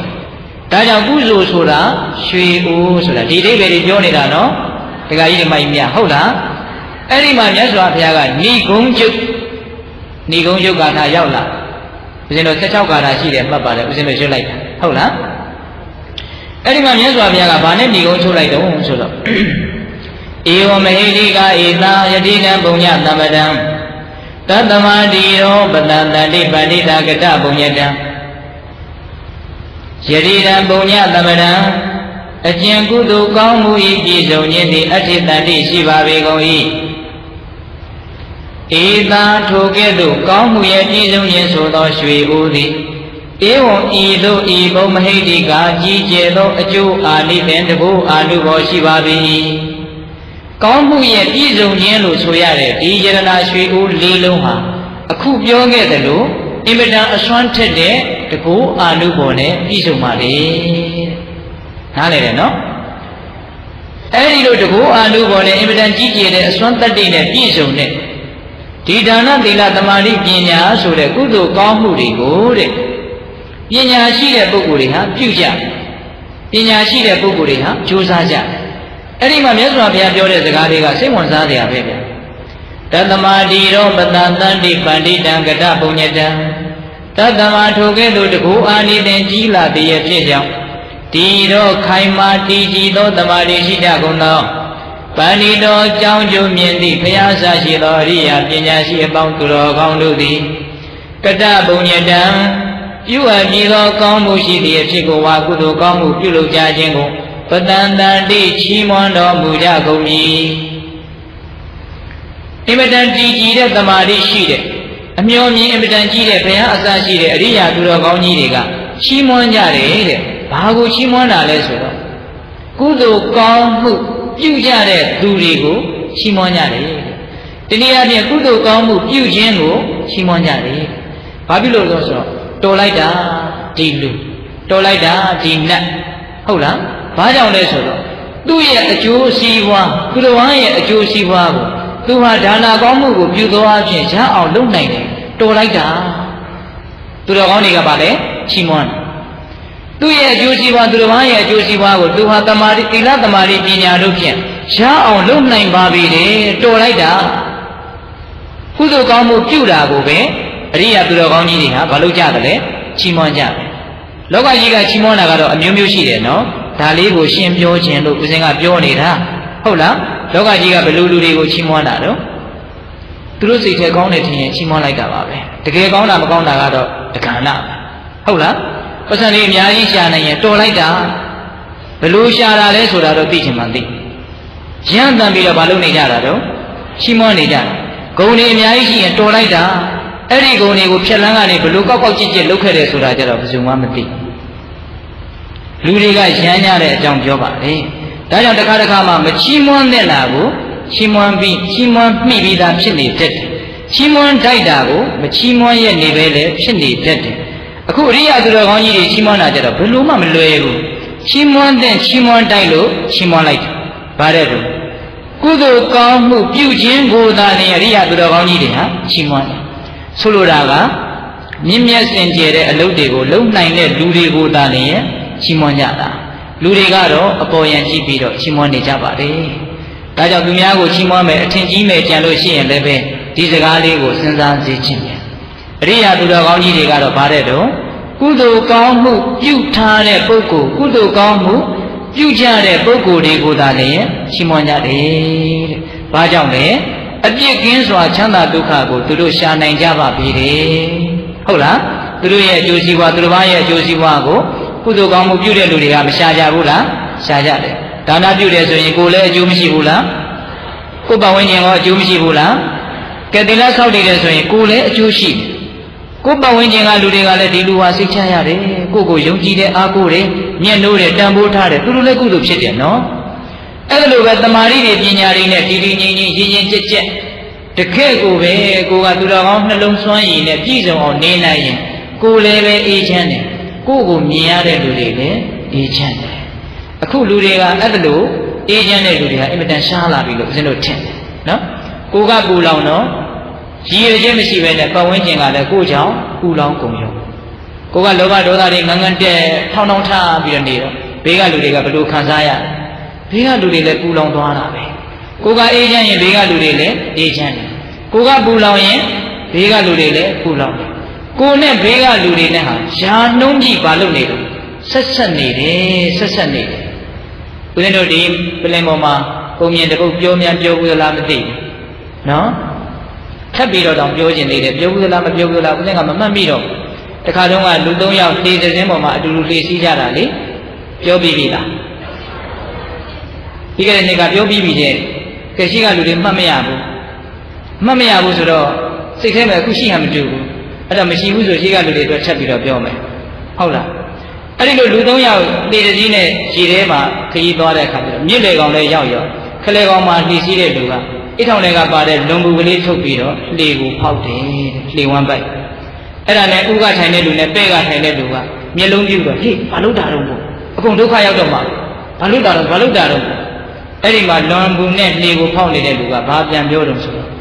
ငါနေရငါဖောက်တာမင်းတို့နဲ့ဘာဆိုင်တုံးလို့ပြောတယ်တလှေတဲ့ရှိပြီးတော့တခီးတဲ့ရေချောင်းမှာအတူတူသွားနေတာသူ့နေရာသူဖောက်တာဒီလူတွေနဲ့မဆိုင်ဘူးလို့ရှိပါမလားအကုန်လုံးအတူတူပဲလေအခုလူတွေကအဲ့လိုစိတ်ဓာတ်မျိုးတချို့ရှိနေတယ်နော်ဟာကိုယ့်အကိုကိုလောက်တာပဲဘယ်သူနဲ့ဘာဆိုင်လဲလို့အဲ့ဒါလို့စဉ်းစားတဲ့ကိုမကောင်းရင်ပတ်ဝန်းကျင်လည်းအထိုက်လျောက်တော့မကောင်းသွားတာပဲကိုကောင်းလို့ရှိရင်ပတ်ဝန်းကျင်လည်းအထိုက်လျောက်တော့ကောင်းသွားတာပဲ ဒါကြောင့်ကုသိုလ်ကောင်းမှုလုပ်တဲ့လူဟာသူ့ရဲ့အကျိုးစီးပွားကိုလုပ်ရရောက်တယ်လို့ဘေးကလူသားတွေရဲ့အကျိုးစီးပွားကိုလုပ်ရမရောက်ဘူးလားရောက်တယ်တနည်းနည်းနဲ့အကျိုးကျေးဇူးပြုနေတာပဲဒီလူတွေဉာဏ်ရှိပါတယ်စဉ်းစားကြည့်ပေါ့နော်ဒါကြောင့်ပညာရှိသူတော်ကောင်းတွေဟာဘယ်လိုလူမျိုးဘယ်လိုအမှုမျိုးကိုချီးမွမ်းတယ်လဲဆိုရင်ကုသိုလ်ကောင်းမှုပြုထားတဲ့လူတွေကုသိုလ်ကောင်းမှုပြုခြင်းကိုသာလျှင်ချီးမွမ်းကြတယ်တဲ့။ ဘာပြုလို့လဲဆိုတော့အများကြီးအကျိုးရှိလို့ဟုတ်လား။အဲ့ဒီလိုမြတ်စွာဘုရားကအဲ့ဒီကုသိုလ်ကောင်းမှုရဲ့တကူကြီးပုံလေးကိုပြောပြီးတော့နိရိခန္ဓသုတ်တံကိုဏီကုံချုပ်ထားဟုတ်လား။ဒါကြောင့်ကုသိုလ်ဆိုတာဘာလဲရွှေအိုးတရားဓမ္မတို့ဦးဇင်းတို့အတွက်ဘယ်သူမှမနှောက်ယှက်နိုင်သောတကယ်သစ္စာရှိသော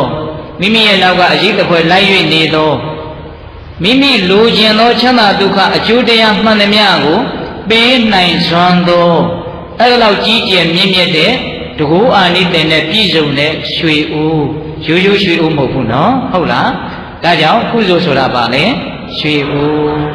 ခန္ဓာဆိုတာကမြေဦးဒီပိဋကကြီးသဘောပေါက်တယ်နော်ဒါကြောင့်ခန္ဓာမြေဦးကိုကွဲနိုင်တယ်အချိန်မရွေးကဲနိုင်တယ်လို့သိပြီးတော့ခန္ဓာရဲ့အပေါ်မှာမမောတွေ့တာမှုနေနိုင်တယ်များနေပါစေ မကွဲခင်မပြက်ခင်မှာကောင်းတာတွေအများကြီးလုပ်မယ်လို့စိတ်ကူးနိုင်ကြပါစေစိတ်ကူးသည့်အတိုင်းလည်းလုပ်နိုင်ကြပါစေနော်ကုသိုလ်ဆိုတာရွှေအိုးလို့စဉ်းစားပြီးတော့ကုသိုလ်ရွှေအိုးကိုအများကြီးအာကိုအာရာပြုပြီးတော့ရှားပွေတူမီသိရှိနိုင်ကြတဲ့သူတော်ကောင်းတွေဖြစ်ကြပါစေလို့ဦးဇင်းတို့ဆန္ဒပြုရင်းနဲ့နော်ခန္ဓာဆိုတာ မြေအိုးကုသိုလ်ဆိုတာရွှေအိုးတဲ့ဒီတရားတော်ကိုဦးဇင်းတို့မေတ္တာပို့ပြီးတော့ဆုံးသတ်ပါနော်တနာရီမိနစ်20တိတိရှိပါဘဝတုသဗ္ဗမင်္ဂလာရခန္တုသဗ္ဗဒေဝတာသဗ္ဗဗုဒ္ဓ ानु ဘာဝေနတရာဒုက္ခိဘဝန္တုတိဘဝတုသဗ္ဗမင်္ဂလာရခန္တုသဗ္ဗဒေဝတာသဗ္ဗဓမ္မာနုဘာဝေနတရာဒုက္ခိဘဝန္တုတိ ဘဝတုသဗ္ဗမင်္ဂလာရခန္တုသဗ္ဗဒေဝတာသဗ္ဗသံဃာနုဘာဝေနတရာဒုက္ခိဘဝန္တုတိဤတုမသင်တရားနာပိသပေါင်းသူတော်ကောင်းတို့သာတာအလုံးသောတတ္တဝအနန္တတို့အားသဗ္ဗမင်္ဂလာလောကီလောကုတ္တရာကောင်းဆိုသမျှမင်္ဂလာဝဝတိဘဝတုကောင်းစွာမသိဖြစ်တော်မူကြပါစေတည်းဤတုမသင်တရားနာပိသပေါင်းသူတော်ကောင်းတို့သာတာအလုံးသောတတ္တဝအနန္တတို့အား သဗ္ဗဒီဝနာမိမိတို့ခန္ဓာကိုယ်မှာစောင့်ကြနေကြဝန်တော်နဲ့မိမိတို့အိမ်မှာစောင့်ကြနေကြဝန်တော်နဲ့မိမိတို့သာသနာမိမိတို့ကဘာမှာစောင့်ကြစောင့်ကြနေကြဝန်တော်နတ်မြတ်နဲ့ကောင်းတာပေါင်းတို့ကလည်းပဲလက်ခံတို့ကောင်းစွာမသွေဆောင်လျှောက်တော်မူနိုင်ကြပါစေတည်းဒီတုမကသေတရားနာပိသပေါင်းသူတော်ကောင်းတို့သာတာအလုံးသောတတ္တဝါအနန္တတို့အားသဗ္ဗဗုဒ္ဓ ानु ဘာဝိနာ ကင်းသာဝါလူသေးစုမကပွင့်တော်မူကြတဲ့သုသူတို့တာဘာဘုရားရှင်ကိုတော်မြတ်တို့ရဲ့တကူတေဇောအာနုဘောတော်တို့ကြောင့်၎င်းသဗ္ဗဓမ္မာနုဘာဝိနာဗလိရံဘူလိရံနိဗ္ဗာပရိယတိဟုဆိုသောစေတံတော်တရားတော်မြတ်တို့ရဲ့တကူတေဇောအာနုဘောတော်တို့ကြောင့်၎င်းသဗ္ဗသံဃာနုဘာဝိနာဘဂတံလေးရောက်ပလတံလေးရောက်ဆိုသောရှင်တော်ရိယသံဃာရှင်မြတ်တို့နဲ့တကွာ သီလကိုသမာဓိကိုပညာကိုတို့နဲ့ပြည့်စုံတော်မူကြတဲ့သမုဒိတံကရှင်ကောင်းရှင်မြတ်ပေါင်းတို့ရဲ့တကုတေဇောအာနုဘောတော်တို့ကြောင့်၎င်းတရားနိယောညပါဘေကမဆိုင်ခြင်းရှိတိုင်းခြင်းရှိတိုင်းဒုက္ခိကိုစိတ်နှပြချမ်းသာချမ်းသာရင်ရှိကြကုန်သည်ဘဝတုကောင်းစွာမသွေဖြစ်တော်မူကြပါစေတည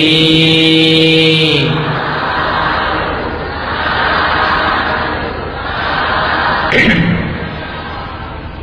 ကဲဆူတောင်းကြမြဝေကြရေသက်ချကြရအောင်ဟမ်တရားဟောပြီးမှအတန်ကအစဉ်ပြေးနေတာ